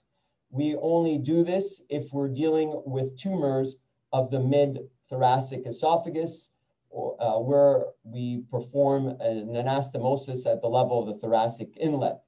So basically, we do a, usually a standard lymphadenectomy for G junction tumors, as that's the majority of our patients. We stop the level of our lymphadenectomy at the level where we're going to create the anastomosis. So if I'm going to create the anastomosis at the thoracic inlet, then I will do a paratracheal lymphadenectomy anterior and posterior to the trachea, also mentioned here as a recurrent laryngeal nerve lymphadenectomy. Seeing that we rarely go into the neck, we rarely perform ever a cervical or three-field esophageal uh, lymphadenectomy. In terms of the anastomosis, I will uh, fast forward for the sake of time. We divide the thoracic esophagus, as you can see here, right below the azygous vein. So I've mobilized the azygous vein, but I leave it intact. And the reason I leave it intact is that although sometimes we divide it and we create the anastomosis a centimeter or two below above it, here we can create the anastomosis right underneath it and allows me to have that azygos vein fall down and protect the anastomosis if God forbid we get anastomotic leak. We also use the OrVil anastomotic technique. The anesthesiologist brings it through the mouth. It's very important, in my opinion, to make it come out either exactly through the staple line or very close to the staple line. I think it is a mistake to bring out the uh, anast- uh, the OrVil on the side or underneath the esophagus, as you will have two staple lines that are next to each other and create an ischemic area of the esophagus. So we bring out the OrVil, as can be seen right through the uh, staple line. We then exteriorize our conduit, as can be seen here. We please place the EEA stapler. Dr. Molena once did a presentation, very nicely done, of the ICG dye that's given and through Firefly, you can look at the uh, vascularization of your conduit and decide where to create the anastomosis. We usually just try to create the anastomosis as low as possible in the gastric conduit to have the best vascularization. We lift up the azygos vein as we create this anastomosis. So it's a circular, stapled, 25 millimeter anvil uh, EEA anastomosis. We make sure the azygos vein is not in the anastomosis and that we don't get the trachea underneath either.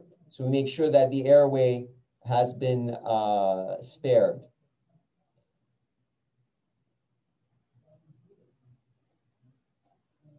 We then cut off the excess. We look at our donuts. You can see the staple line, we've overshown it.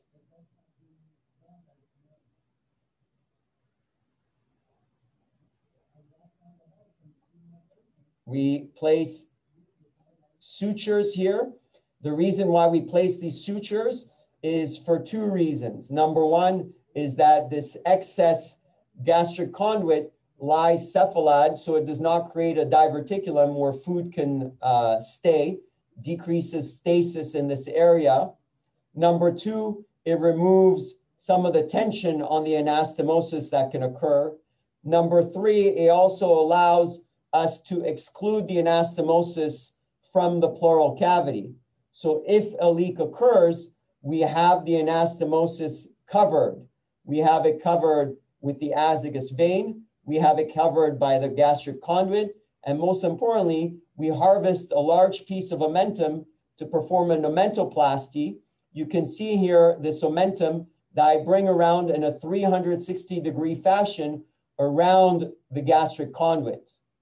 So I secure both sides of the omentum and wrap the conduit in a 360 degree fashion. So if there's a leak, usually that leak will happen in the subcarinal space. So the omentum completely fills up the subcarinal space. We also place uh, a stitch at the level of the hiatus to decrease the risk of herniation we always divide the right crus. We do not divide the left crus. If we have a transverse colon that's very redundant at the time of the abdominal portion of the procedure, we usually do a colopexy or we place a few stitches between the transverse colon and the diaphragm to decrease the risk of having colon um, colon herniation into the left chest, because that's the most common thing that we found in terms of herniation has been a redundant transverse colon. Here we see ICG dye being given and the firefly VUIU. And you can see, unfortunately, this is the SI. It's not as good, but you can see good vascularization of our gastric conduit. And you can see the omentum that's being wrapped in a 360 degree fashion, therefore excluding the anastomosis from the pleural cavity.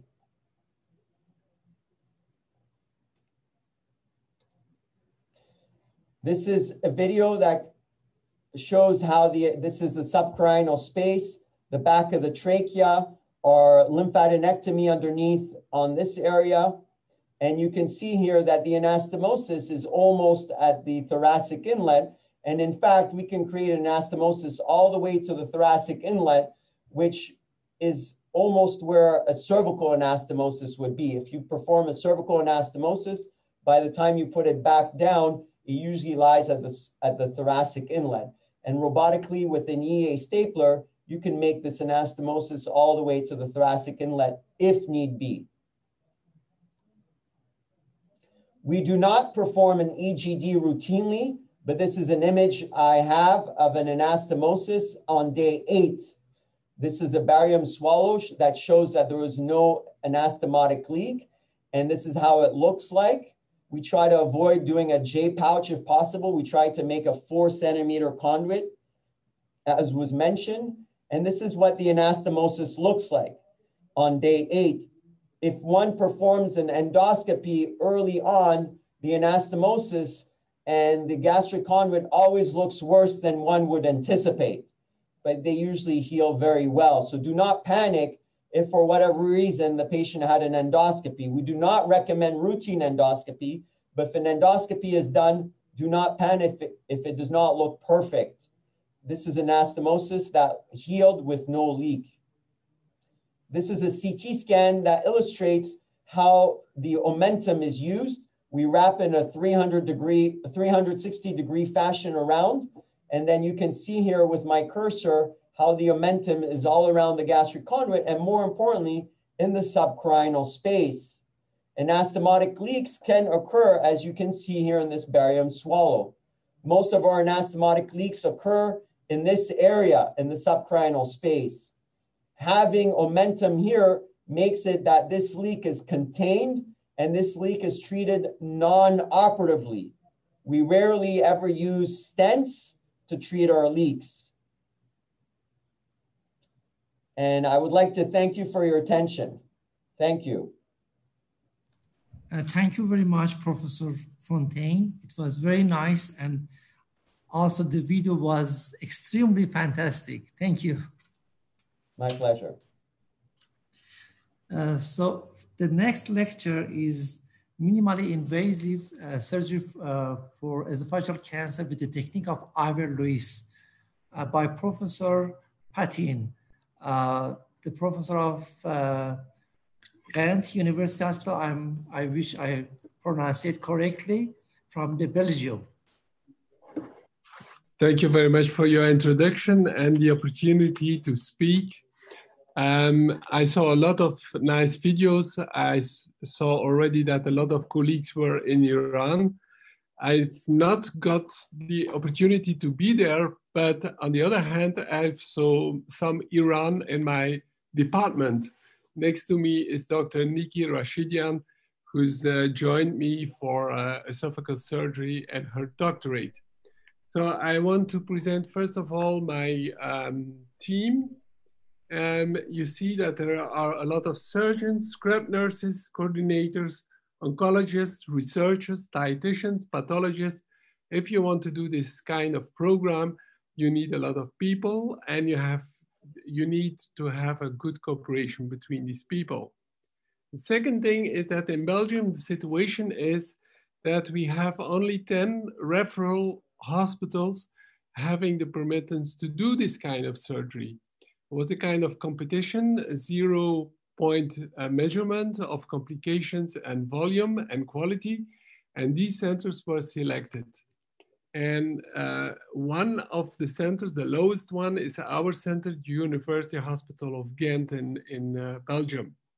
So these are the people who, who are working, referring out to our center patients. You see a lot of uh, hospitals are referring also some uh, hospitals from the Netherlands because Netherlands is very nearby.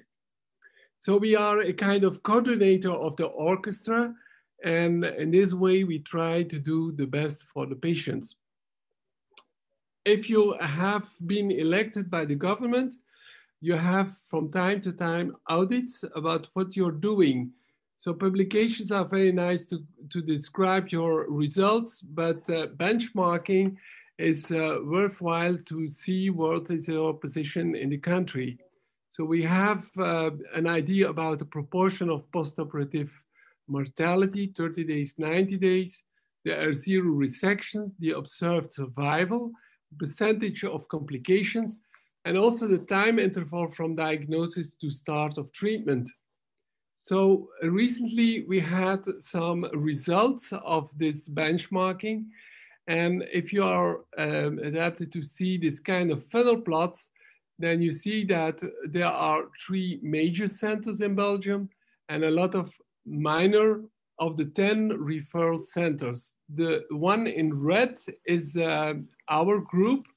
And you see that we are at a level of proportion of uh, patients um, uh, diagnosed and operated in time. But if you see that the quality um, examination was 90% in one month, uh, nearly no center was able to do this. So this is already one point we have to make um, uh, better performances in future. And so you can go for every time the medium length of time. We have 10 days. Um, it's too much in the ERAS protocol. And um, patients normally, they come the day before. Now we have a system, they come at the day of surgery and we will gain one day. Uh, concerning the um, uh, postoperative complications, you have here funnel plots and our center is nicely at the same level of the, the other high volume centers. So this is just an example that you can evaluate every center. And you see also that uh, the lower the volume, the more scattered are the results of uh, the, the centers. Uh, we have also quality indicators. For instance, if you have enough lymph nodes resected, but also about non-operative uh, procedures. For instance, if you have a too high amount of T1A lesions, shows that your endoscopic removal is not at a level as should be expected. So coming now to um, the operation techniques, uh, as mentioned before in a very nice way, you have different techniques. And also we are looking for the Ivor Lewis one uh, before open and now the golden standard is the minimal invasive one. So the first part is the laparoscopic where we uh, use the bench, the beach uh, chair position. It's very easy. And then go for uh, video. The video is um, twice uh, the speed. So to be honest, and you have a, a, a, view outside in the operation room and you have a view inside um, the human body. The patient is um, T2 um, lower esophagus um, um, tumor and uh, he's also um, a seaward tube. So we start from this position because we are uh, doing the anastomosis in the thorax It's the laparoscopy is the first part. With the normal way of working, the placing of the different trocars. And we use uh, this kind of retractor, what we call the Nathanson retractor. We um, are very fond of it because it doesn't move, it's steady, and makes a nice view on uh, the hiatus. And the first step of the dissection is the, um, uh, looking for the bursa omentalis and going up and dividing by the harmonic at the safe level and going in this way to the left gastroepiploic artery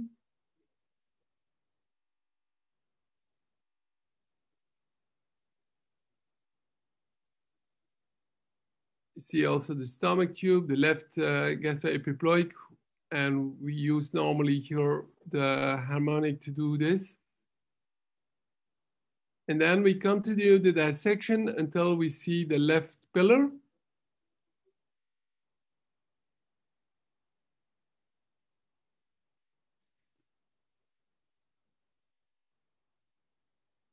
And having seen the left pillar, we continue a little bit into the mediastinum, not to, for, uh, to speed up, but uh, not to go into the left pleura because then the anesthetist can have some problems.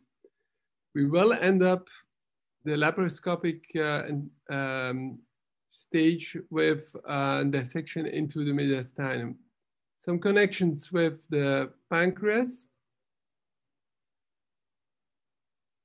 and then opening the omentum minus.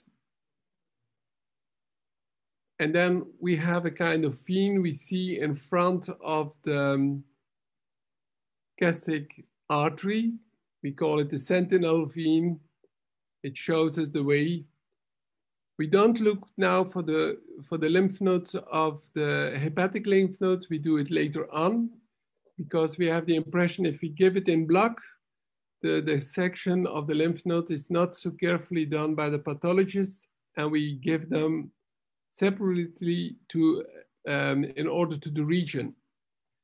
The section is going on to the pillars, going up, the right one, the left one, and then we continue with the front side to the pillars. As I mentioned, we don't go into the mediastinum itself for this moment. We will do it later on.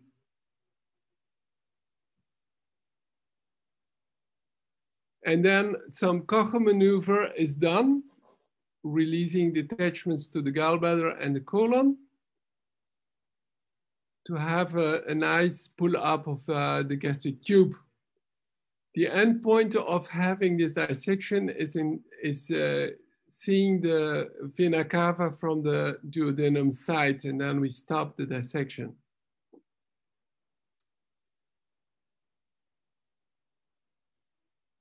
After having done this, the gastric tube will be performed. And we are looking for two centimeters distance from the pylorus to start with the first stapler. As you see, we uh, are uh, staying to the right side of the patient for the application of the first one. And we have a tube with the diameter of four staples next to each other. Then we go up, stretching nicely from the right side.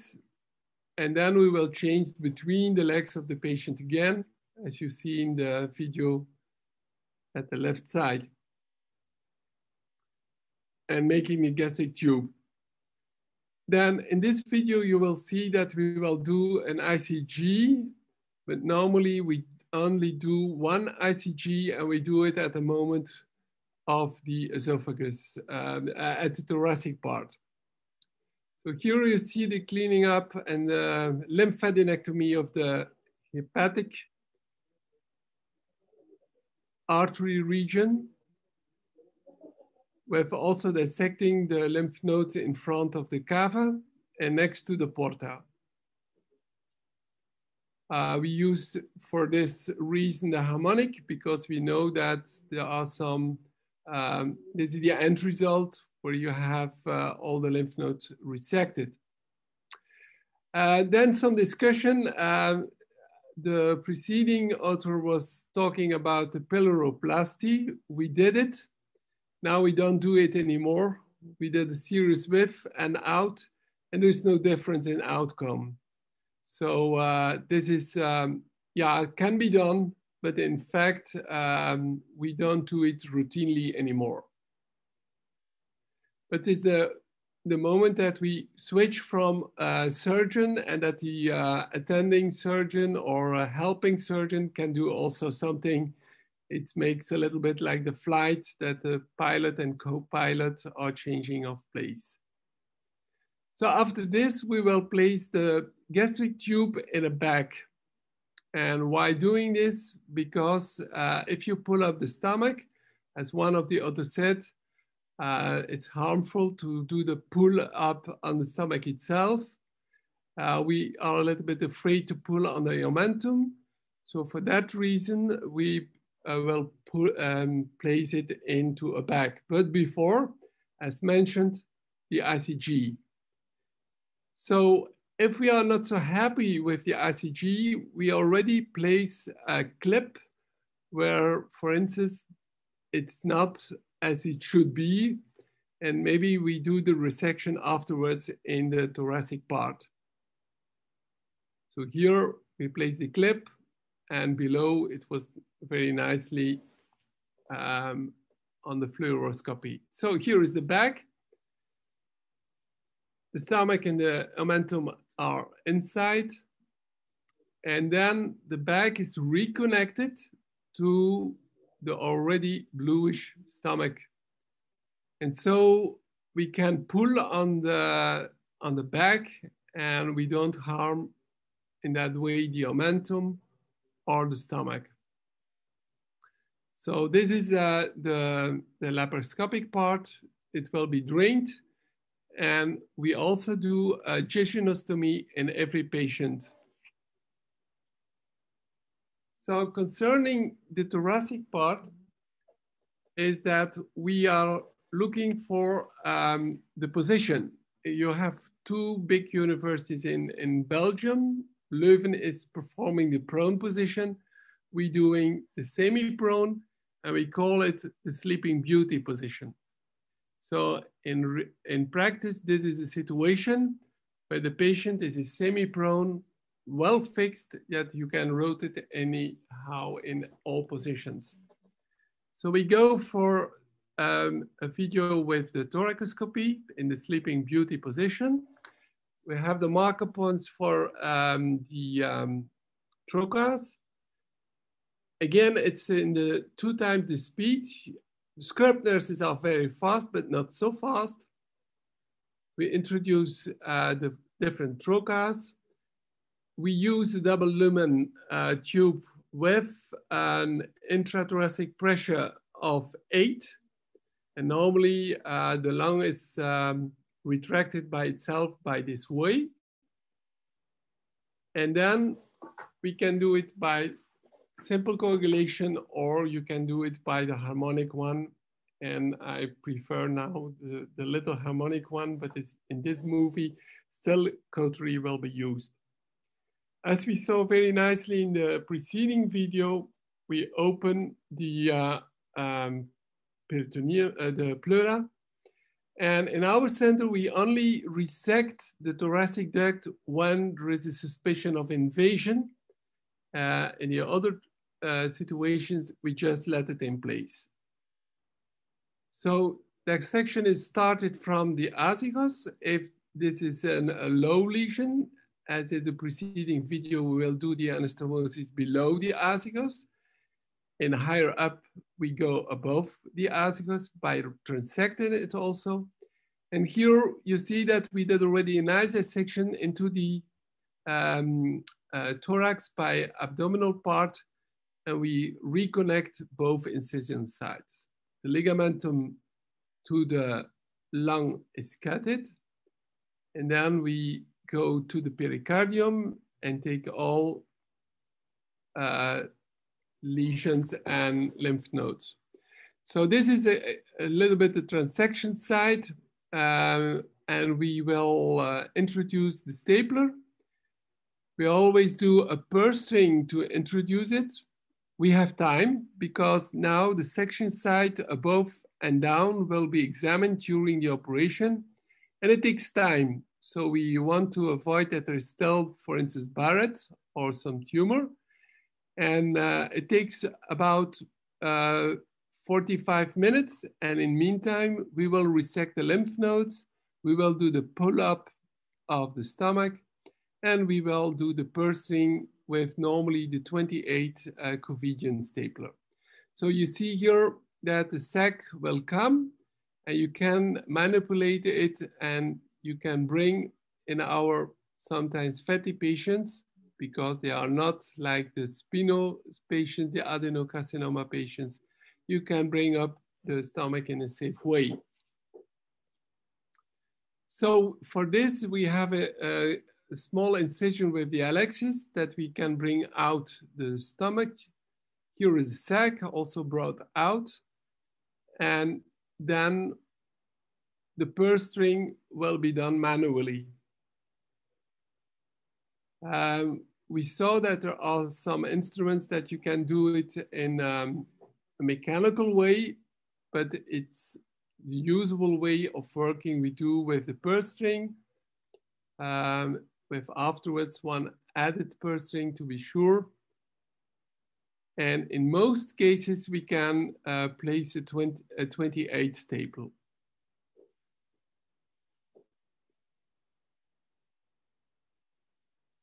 So everything is done by the same trocars. If, for instance, we have to do a dissection of the lymph nodes above, we add one trocar above the scapula to do the dissection introduction of the, the anvil.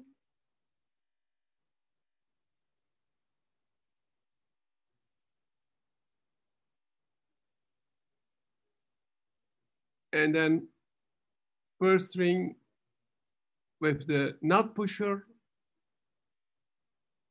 and one added uh, per string to be sure, if necessary. But here you see that it's better to do it to have a nice donut afterwards.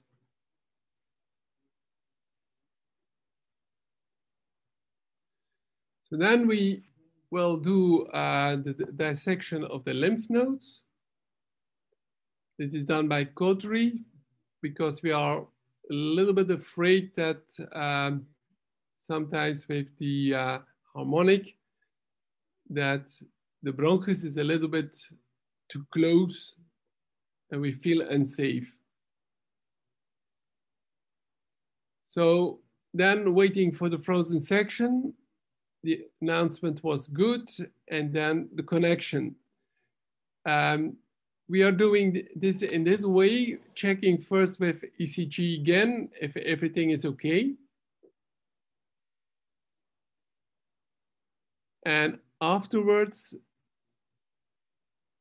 we will make a little incision again on the staple line down to make the anastomosis. So we open again a little bit the staple line, and then by the utility port, one of the surgeons move to the other side of the patient and will introduce then, as you see in the left movie, the 28.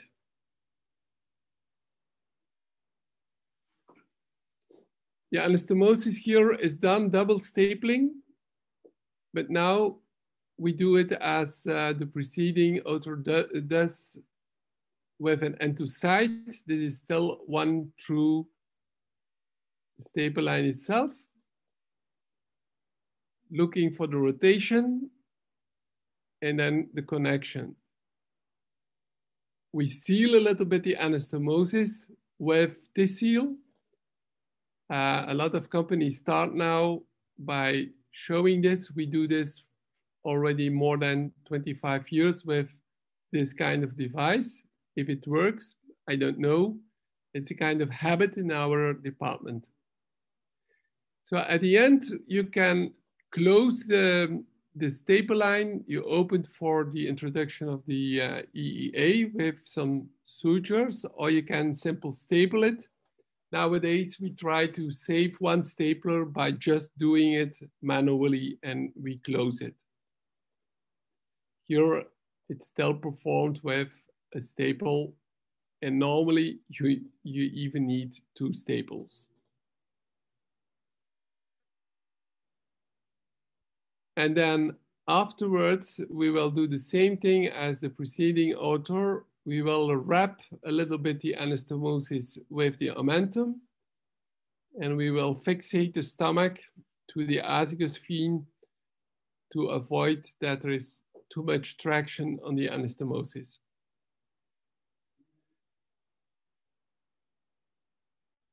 So the rest of the glue, the wrapping of the fat between the anastomosis and the bronchus, and some connection between pleura or azygos with the stomach. And then we drain. And then we go for um, the, the scheme we have of the strategy for the ERAS protocol, where everything is well marked for the patient and for the nurses. But most important is the mobilization of our patient having a good result. And last one is we do um, an X-ray and we do the X-ray on um, day five. And this gives us an idea not only for the anastomosis, but also what is the positioning, if there's a kinking, if there's a nice outflow of um, the anastomosis, it's important. So this is the way we are working in Ghent, and I thank you very much for your attention. Thank you very much, Professor. It was very nice. Thank you.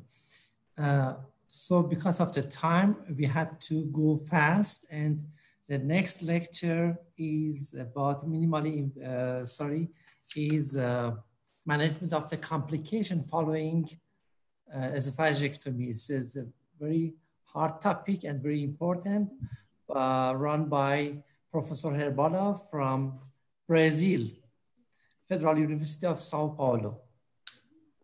Thank, thank you very much for, for this invitation. I'm very honored. Let me share my screen.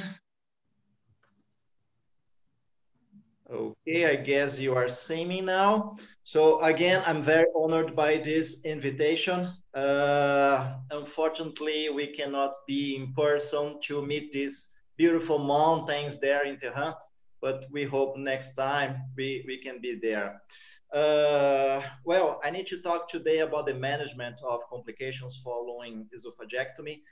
Uh, as you said, this is a very hard topic. We, we could organize a whole meeting on this, so I'll be very brief on the on the uh, each of these topics. Since we we have a very international panel of experts here, we can discuss together some of these complications. Uh, I have nothing to disclose. So in the next minutes, I will try to speak about three topics. First of all, uh, what are the complications that may follow esophagectomy? Second, we need to speak if the, these complications are different for minimally invasive operations. Did they create a higher number of complications or a different set of complications since this is a minimally invasive meeting? And uh, finally, how to manage these, these complications. Well, uh, Dr. Bonavina said that today esophagectomy is a very safe procedure. I absolutely disagree with him this is a very morbid procedure. Dr. Molena and, and Dr. DeMeester was discussing how to avoid an esophagectomy in the first discussion. How can you spare some patients of undergoing an esophagectomy have probably uh, an endoscopic treatment. I used to say that when I leave the operating room after uh, I've done an esophagectomy, my thought is I, I should not be doing this probably scientists need to develop some alternative to this. I'm not doing good to the patient. Totally different when I do a anti-reflux operation that I leave the operating room very happy that I did something that probably is the best. So uh, these are some data from Dr. Molena that presented us uh, early in this day. And we can see, uh, as I said, esophagectomy is a very morbid, complicated, uh, very, very morbid uh, procedure. So what are the complications that may follow this pr procedure? Probably the majority of complications, as we saw in the previous slides, they are clinical complications. And surgeons, they do not act on the treatment of these complications in most cases. They may act on the prevention. And how do we prevent these clinical complications from happening? We need to do a very careful patient selection and follow some clinical pathways and protocols that have been shown to decrease this number of clinical complications. There are some uh, surgical complications that are unrelated to this specific procedure. They can happen in any other procedure like uh, abdominal thoracic wall procedure, uh, complications, trocar accidents, crashing of the robot system, small bowel obstruction, I will not go through this because this is very general and we don't have time for that. So I will follow this standardization Uh, that was headed by Dr. Low and this group. And they quote that specific surgical complications for esophagectomy are mainly the anastomotic leak, the conduit necrosis, the conduit failure, chyle leak, and the vocal cord palsy. And again, I'm more than happy to discuss and take questions during my presentation and all the other experts, if they want to interrupt me, please. Uh, if we do this in a way of discussion, this will be much more uh, useful to everybody. So uh, let's answer the first question. Are the, the complications different for minimally invasive? I have several meta-analyses to help me answer this, uh, this question. And if you look at this large meta-analysis with 63 studies, there are no difference for anastomotic leak and vocal cord palsy if we look at open versus minimally invasive surgery.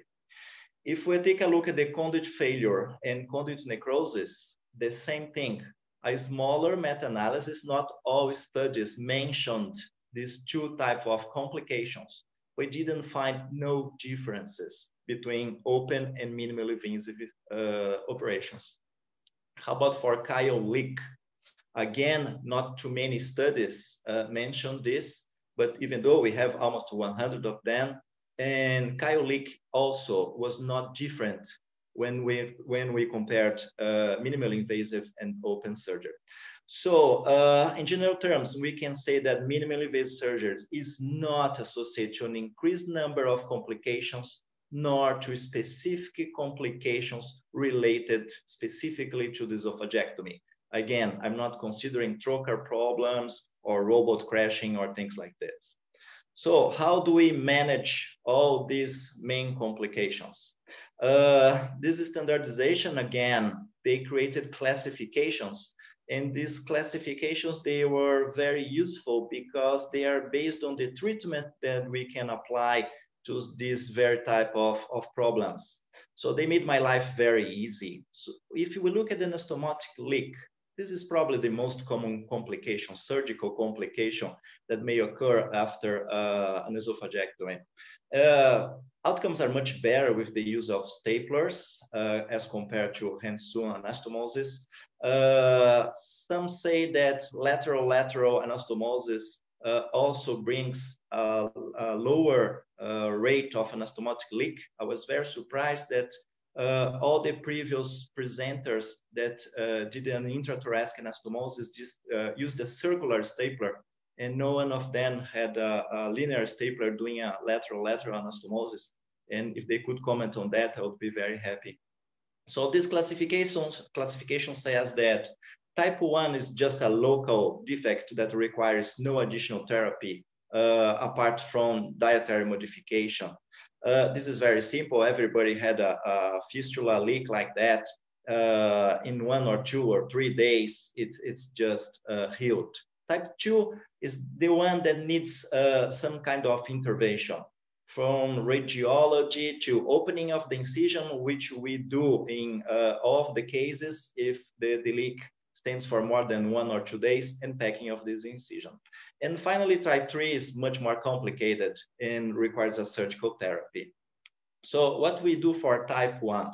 Type 1, usually uh, there's no uh, intervention more radical that we need to do.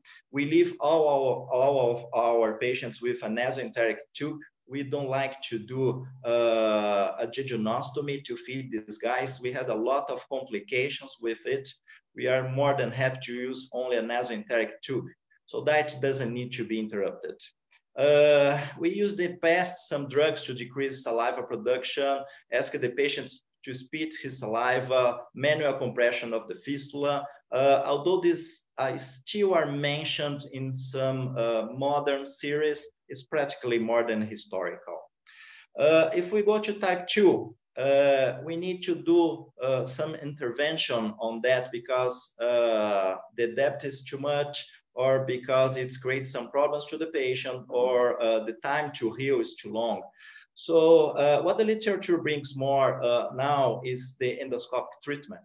So if we talk about stenting of this uh, leak by endoscopy, it has 70% of success, but it has 30% of complications, mainly migration due to the diameter of the conduit that's much larger than the, the natural esophagus, and some cases of uh, perforation.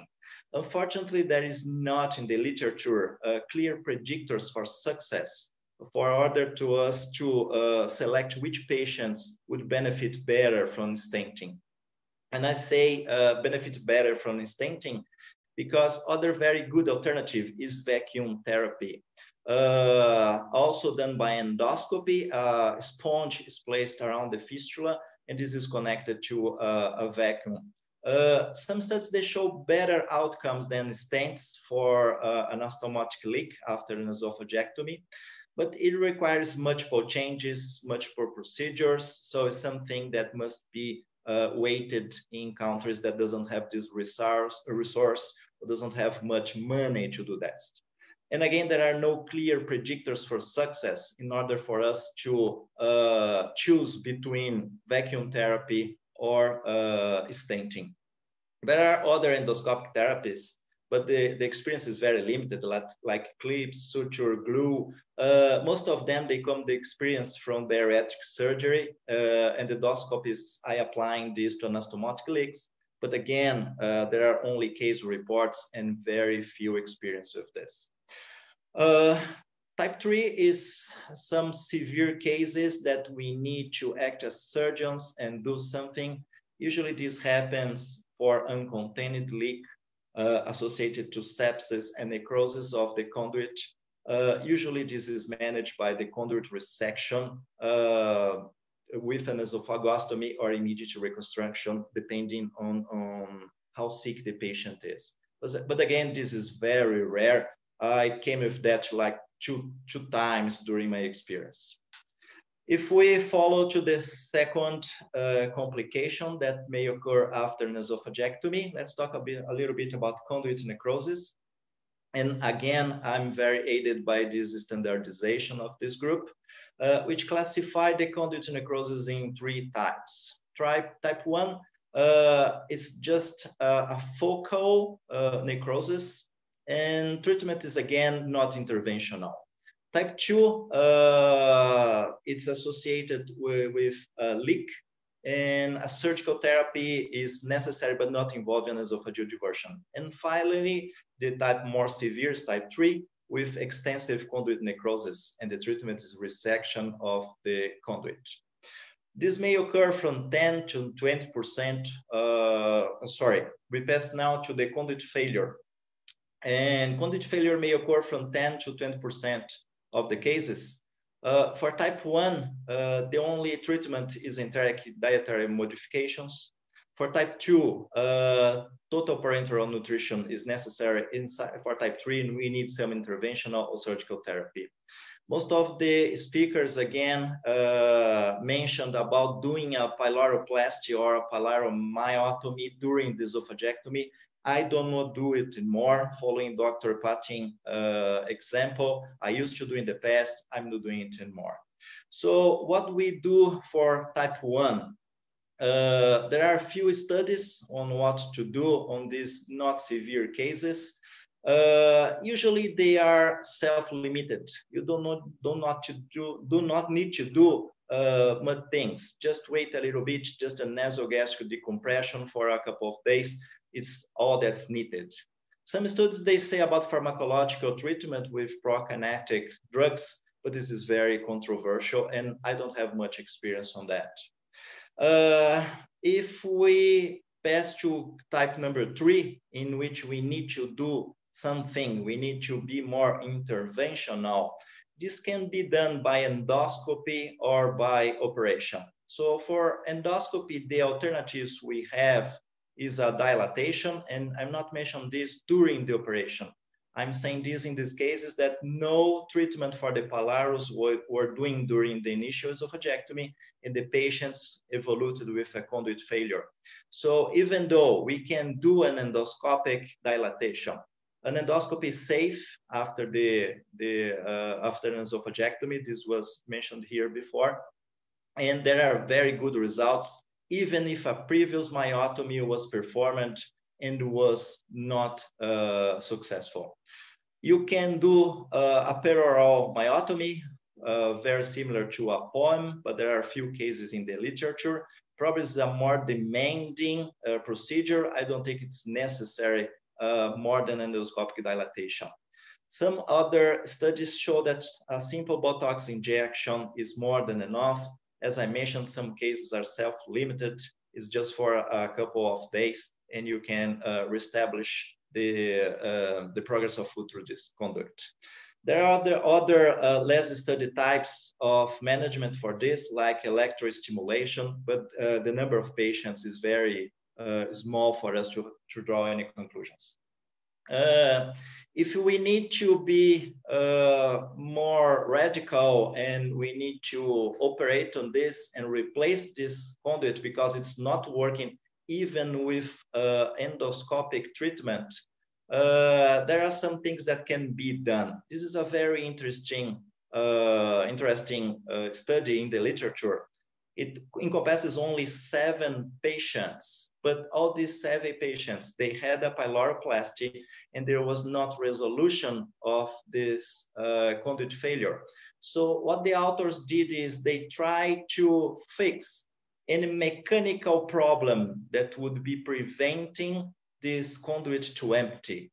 So they try to straighten the conduit by dissecting it and reapplying some stitches to make it straight, uh, some plication to reduce the diameter of the conduit, uh, uh, paraesophageal hernia correction if there was one present. In all cases, they redid the pyloroplasty. They had very good results. So these are simple operations, not radical as replacing the, the conduit, but again, there are only seven patients. Uh, other complication that may occur is chyle leak. This uh, is very prone to happen because of extensive lymphadenectomy, because of uh, the normal uh, types of variations, anatomic variations that may occur uh, of the thoracic duct. So uh, you can manage initially by conservative treatment. Drainage is more than, than enough. Some cases you can do a pleurodesis just to obliterate that space and prevent more leak. Uh, it's very important to keep a nutritional support uh, with close attendance to this because there's a lot of uh, nutrients that are lost by, by this drainage. Uh, you can also use uh, parenteral nutrition with uh, high protein and low fat diets. And it's kind of controversial if octreotide will decrease the output of this fistula or not. Uh, if you need to be more interventional and more radical, you can perform a ductal ligation. You need to reoperate the patient and en bloc, uh, ligate all the tissue around the aorta to uh, prevent this leak. And some authors, they mention that the sooner you do this, the better the outcomes. The less you depauperate the nutrition of the patient. So these are some uh, parameters that some authors use in order to indicate a more radical intervention for chyle leak. Some say that if you have an output higher than two liters after two days, it's time to do something radical. Or if you have over one liter in 24 hours, irrespective of the day, you also should to intervene on this patient. Well, finally, uh, how to manage the vocal cord palsy. This happens uh, due to lesion of the laryngeal nerve. It can occur at the neck or it, it can occur at the, at the chest. Usually when it occurs at the neck, it's transient. It, there's nothing you need to do. When it occurs at the chest, uh, probably is more uh, permanent. So there's again a classification for that based on the same standardization in which type one, it's only a transient injury. Uh, there's no necessary therapy. It's just a palsy, not a, a paralysis. And you can use uh, some uh, dietary modification just to ease the swallow. Number two, uh, you need to do something. You need to, uh, for instance, medialize uh, the cartilages in order to uh, prevent aspiration. And number three is much more uh, severe. So uh, during the acute phase, what you need to do is to prevent aspiration. And who can help you the most is a speech and language pathologist at this time. Uh, if this persists for longer in the chronic phase, you probably need to call uh, your ENT colleague in order to do some procedure on the larynx to prevent this from happening. So my conclusions is uh, complications are not more common or different if you are employing a minimally invasive surgery as compared to open surgery. These complications, they may vary in severity from complications that there's nothing you need to do from complications that need to take the patient again to the OR and resect the conduit. Surgeons today, they may act more on prevention than on treatment of most complications. So we need to be aware and try to institute most of these pathways as we can. Uh, and I show that a multidisciplinary team is very, very necessary. Dr. Pattyn showed his team, and that's that's very uh, great to know that there is this. Uh, and but most most places this is not always available. So if we go through uh, each of these complications, some take-home lessons that we can uh, leave from this talk is that for anastomotic leak, most cases are not severe, especially if they are on the neck. There's nothing you need to do. And if you need to be more radical, probably the endoscopist is the one you should to call because the endoscop endoscopic techniques are the ones with better results. If you face a conduit necrosis, some mild cases, they are just treated as an esophageal perforation, but severe cases, they occur in very sick patients. Probably you need to take this patient to the OR and they will have a very high morbidity and mortality. If you have a conduit failure, it's not emptying well. Endoscopy may help in most cases, but remember, uh, in the acute phase, there must be uh, spontaneous resolution. So don't be radical uh, very soon. If you face a chyle leak, uh, intervention should be done very quick if this patient is not doing well. And finally, for vocal cord palsy, we need to call our colleagues, a speech language pathologist at the beginning for the acute phase. If this is going for the chronic phase, an ENT surgeon can help us with the larynx. So this what I could do for 15 minutes. And again, I'm very thankful for this invitation and I'm ready for questions. And thank you, Professor uh, Herbella. I have one question. If sure. you want to intervene with uh, chyle uh, leakage as a, as a procedure, which procedure do you prefer? By minimal invasive or open surgery in order to ligate the chyle tract? Uh, you, you mean for chyle leak? Yeah, of course. I, I think minimally invasive is, is much easier to do. Even you, you can do this by thoracoscopy or you can do this by laparoscopy. Either way, I think it's very easy because most times you don't need to identify the, the duct that's leaking. Uh, you can do that. You can offer some high fat meal during the operation to see if you can uh, notice the leak but most times we just do uh, uh, en masse uh, ligation of the tissue to the right of the aorta. That's all that's necessary in most cases. Uh, thank you very much for your nice presentation. My pleasure. Uh, so we go for the last lecture uh, by Professor Babak Nurinayer. Um, he's a very nice friend of me. And the lecture is about EMR and ESD of esophageal cancer technique. Thank you. Professor Nayer, Nuri Nayer, we are at your service.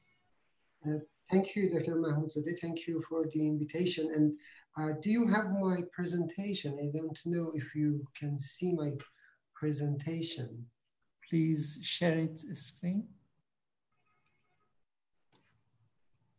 Can you see it? No.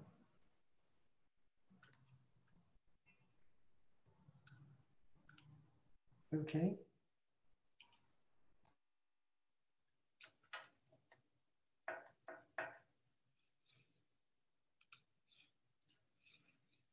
Can you see the presentation now? Uh, no. Please uh, click on share a screen once again.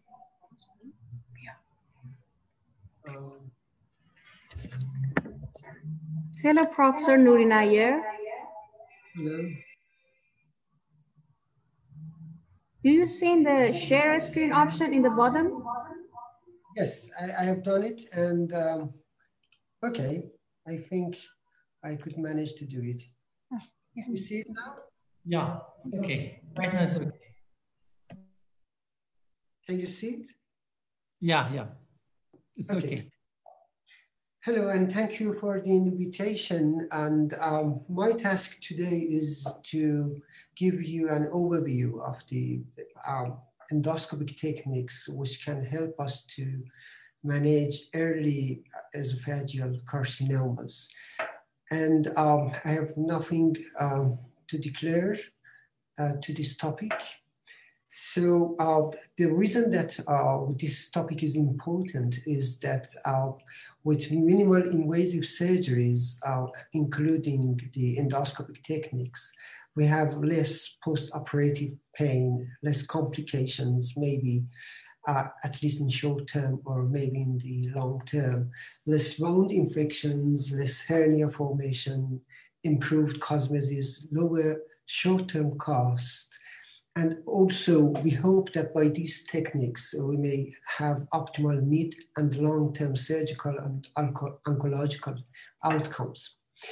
And uh, in the field of endoscopy, uh, technological improvements uh, have begun from the 19s and uh, with the advent of uh, flexible endoscopies in the 1950s and later on uh, the improvements of the techniques and innovations like notes, we are now uh, possible to give our, our patients opportunity to have their cancers managed uh, in a less um, invasive way.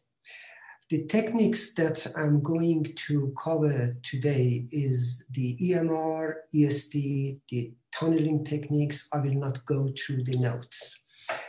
And uh, the EMR, as you all know is stands for endoscopic mucosal resection. It can be done in different techniques in different parts of the gastrointestinal tract. And uh, Dr. DeMeester and Dr. Molena previously have shown that uh, they, how they do it in their practice. In my practice, I usually don't use CAP and I usually don't use the ligation. Uh, I think that if you have a very good um, high resolution endoscope and pay attention to the IPCL pattern, you can do it uh, with inject and cut technique. Uh, I use CAP just to give me some um, space just uh, to pass my instruments, but I usually don't use the C or ligation assisted one. And this is the overview of the EMR. As you see, it all is about making a space in the submucosal space. And this gives us uh, not, not only an opportunity to remove the lesion, but also gives us some information about the T stage, because if you can't leave, uh, lift the lesion completely after injection into the submucosa, and you have um, dimples, then it shows that uh, at least in that part, the lesion has already invaded into the muscularis propria. So uh, this is an example of the CEMR when you use a cap and uh, many uh, colleagues are actually interested to do it in the esophagus. I don't do it myself. This is the ligation one that Dr. DeMeester uh, previously showed. And uh, you use a band and then you cut below, below the uh, band. You can use it in different parts of the lesion. And uh, I, I, prefer the piecemeal EMR, the inject, lift, cut, and then if the lesion is more than 20 millimeters, I, I usually use the piecemeal EMR. The complications of EMR, if uh, if you have done uh, enough, is very low, especially with the new uh, instruments that can we can use to control the hemorrhage. Uh, overall, the hemorrhage rate is 1 to 11 percent, and most of the cases can be uh, controlled endoscopically. The perforation is 5%, but I think that in my practice, I have never had any perforation. If you will have a good uh, submucosal injection, uh, it's very rare to have this kind of um, uh, adverse event.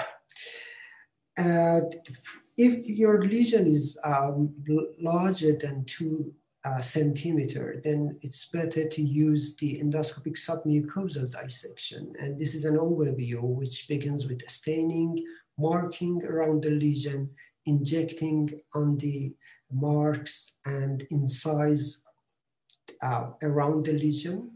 Then, then you can dissect collect, and do hemostasis.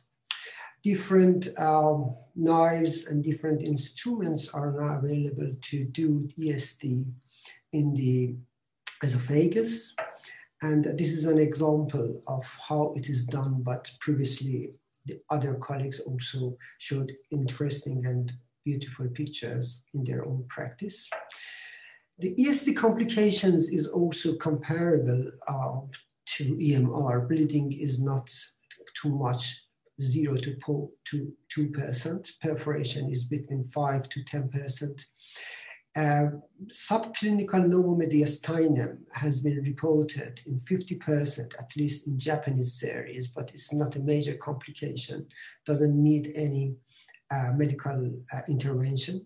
Delayed perforation is very rare. Post-procedural pain is not too much. And post-operative stricture in ESD uh, is a concern that we will deal with it in, a, in the next few slides.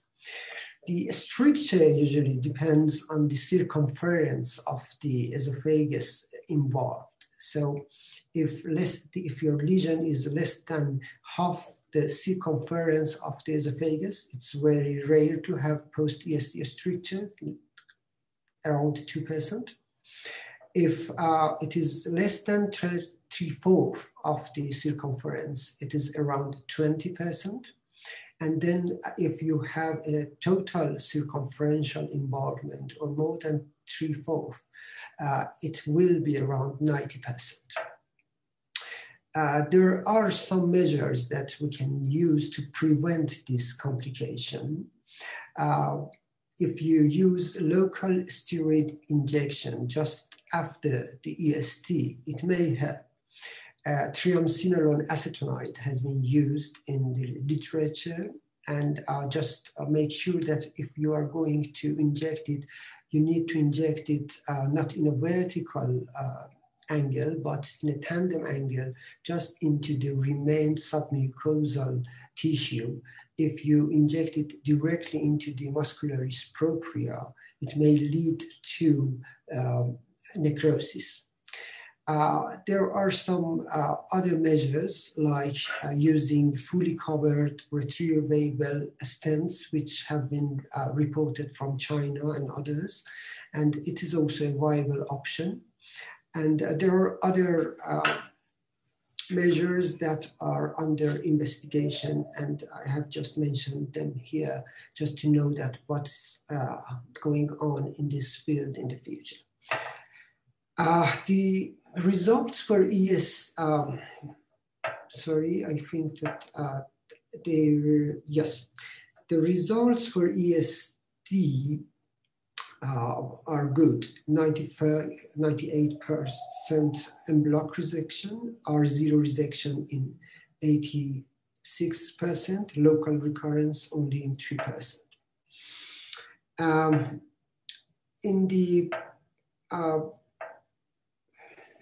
uh, if, um, if we go through the uh, long-term outcomes of the ESD, the five-year survival, disease-free survival is complete.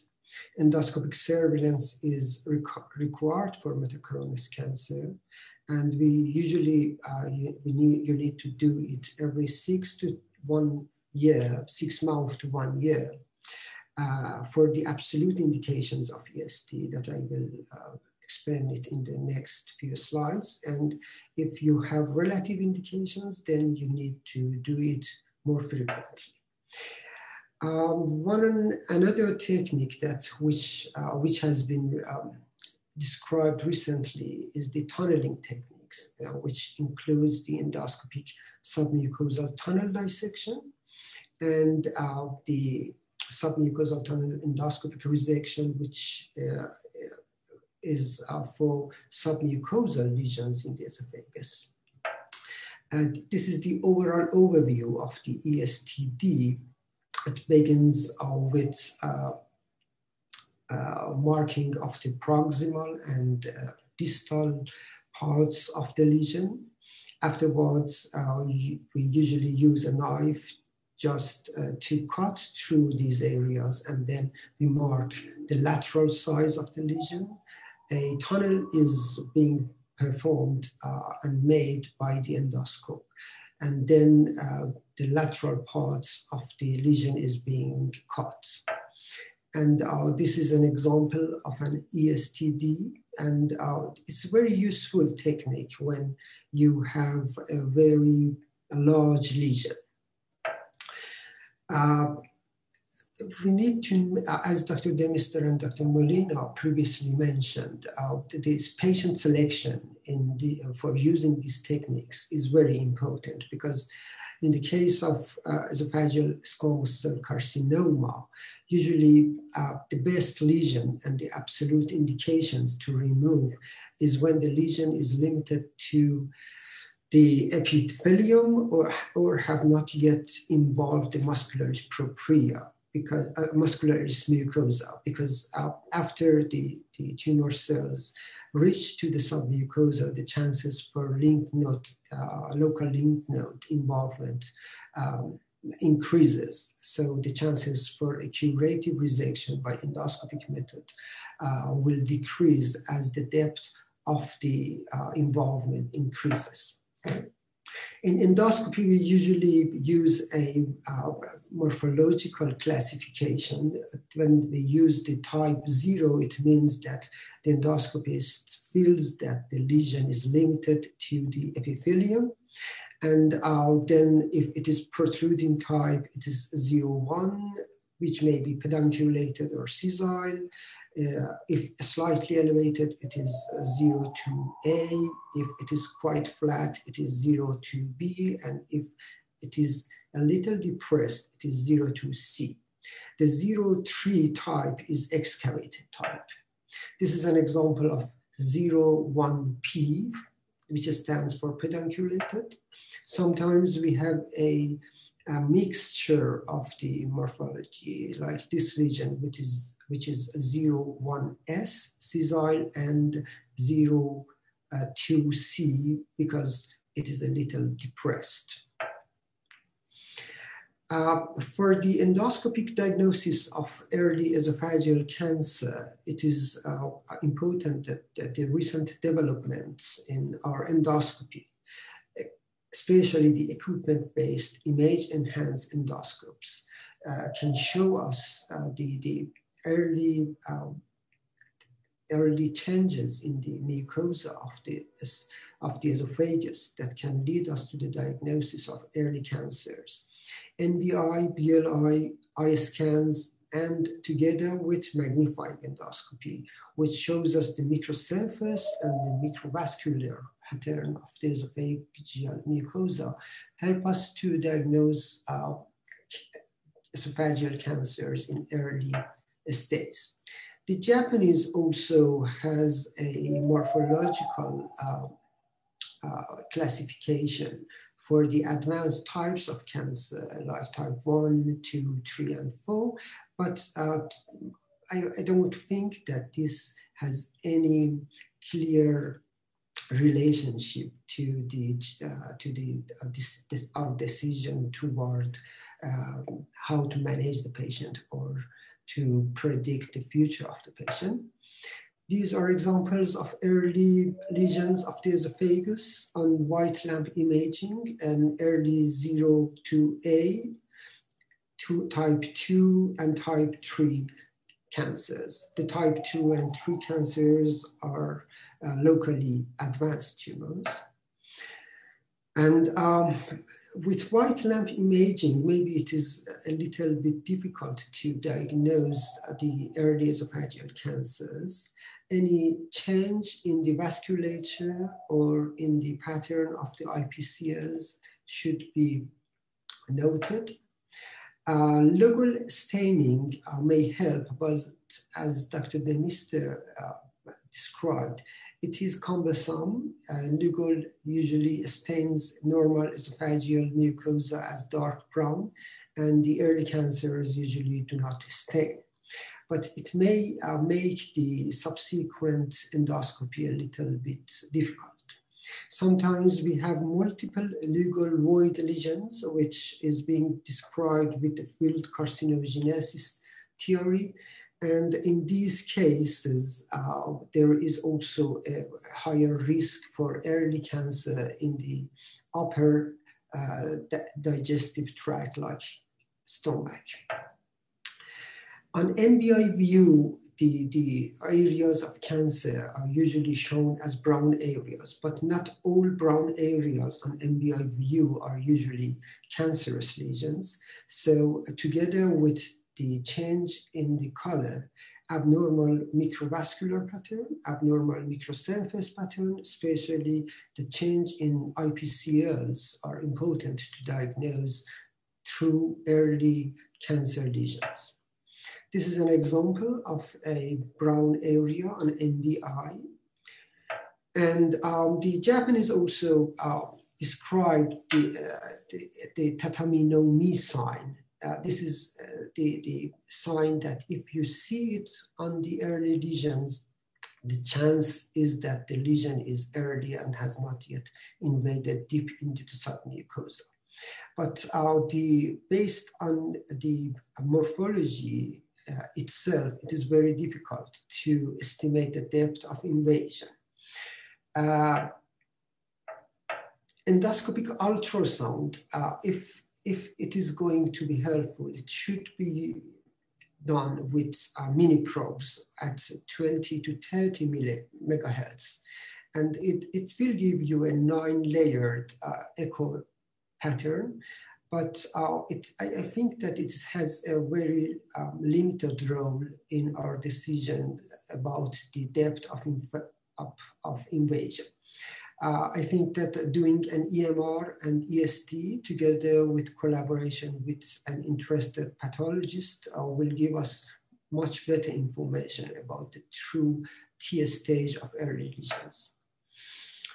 As mentioned previously, the lymph node metastasis risk increases as the depth of, info, of invasion increases. So for lesions who are T1 but limited to the epithelium or above the muscularis mucosa, the chances for the squamous cell carcinomas are very low and even lower for adenocarcinomas.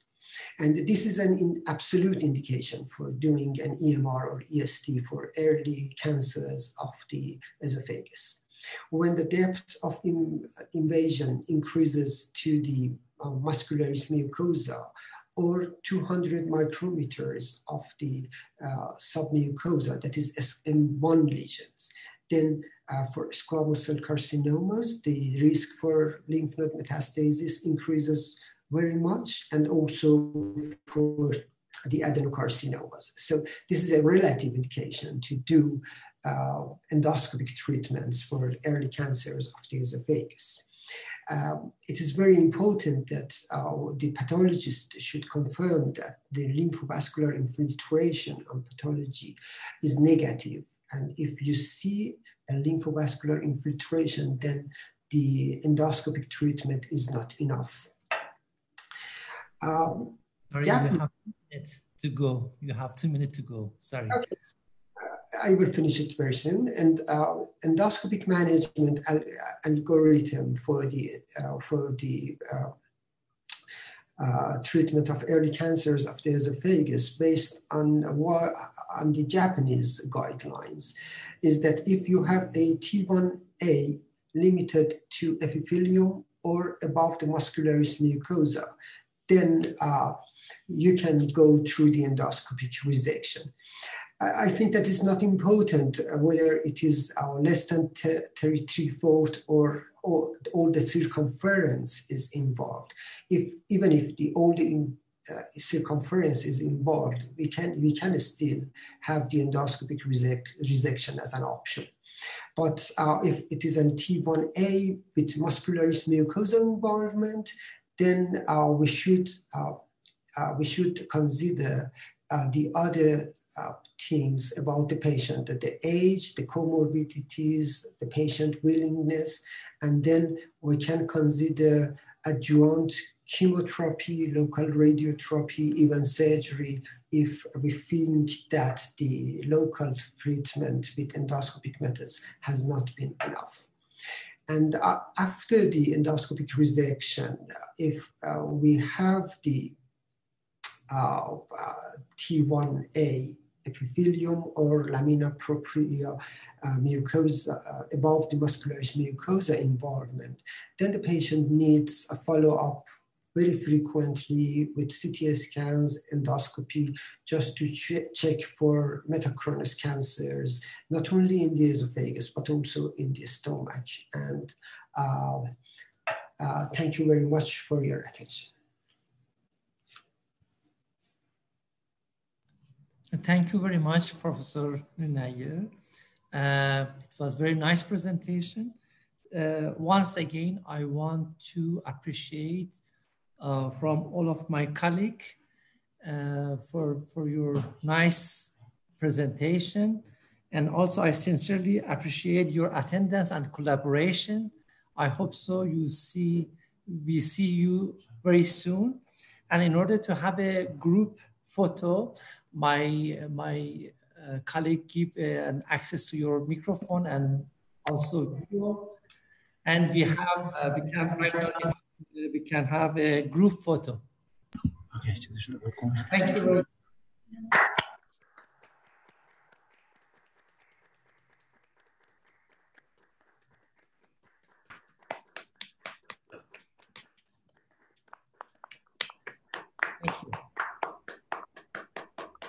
very much. اگه کسی میخواد حرفی بزنه بهشون فرصت بدیم.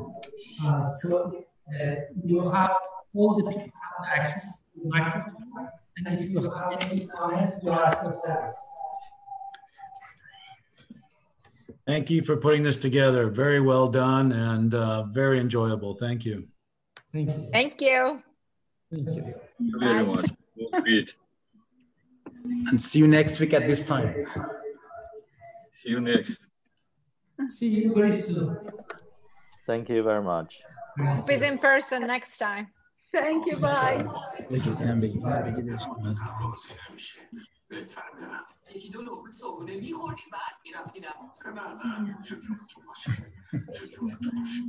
ما هنوز داریم عکس میگیریم دکتر بمونیم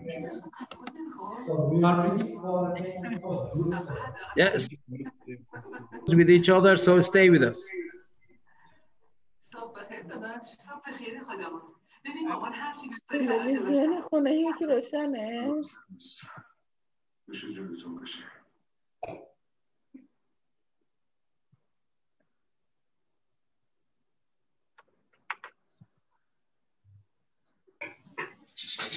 Thank you.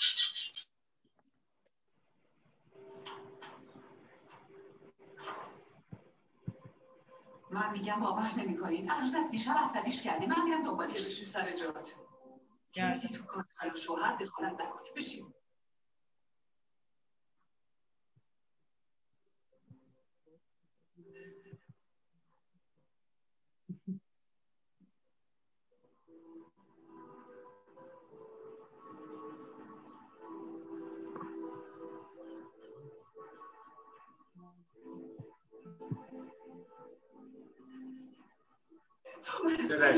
خیلی ممنون از حضورتون و کمکی که کردین در دعوت پروفسور پاتین خواهش می‌کنم. بسیار ممنون از شما و برنامه بسیار بسیار ارزندهتون. واقعا خسته نباشیم. بسیار عالی فرمایند که فارسی تشکر کنیم که آدم راحتتر که واقعا دستتون درد برنامه میده ایشالله ببینیم. مگه میشه ممنونم. داشته باشه؟ بگیم خدا همچین آدمی نیست. Thank you. Bye. نگهدار زندگی اینجا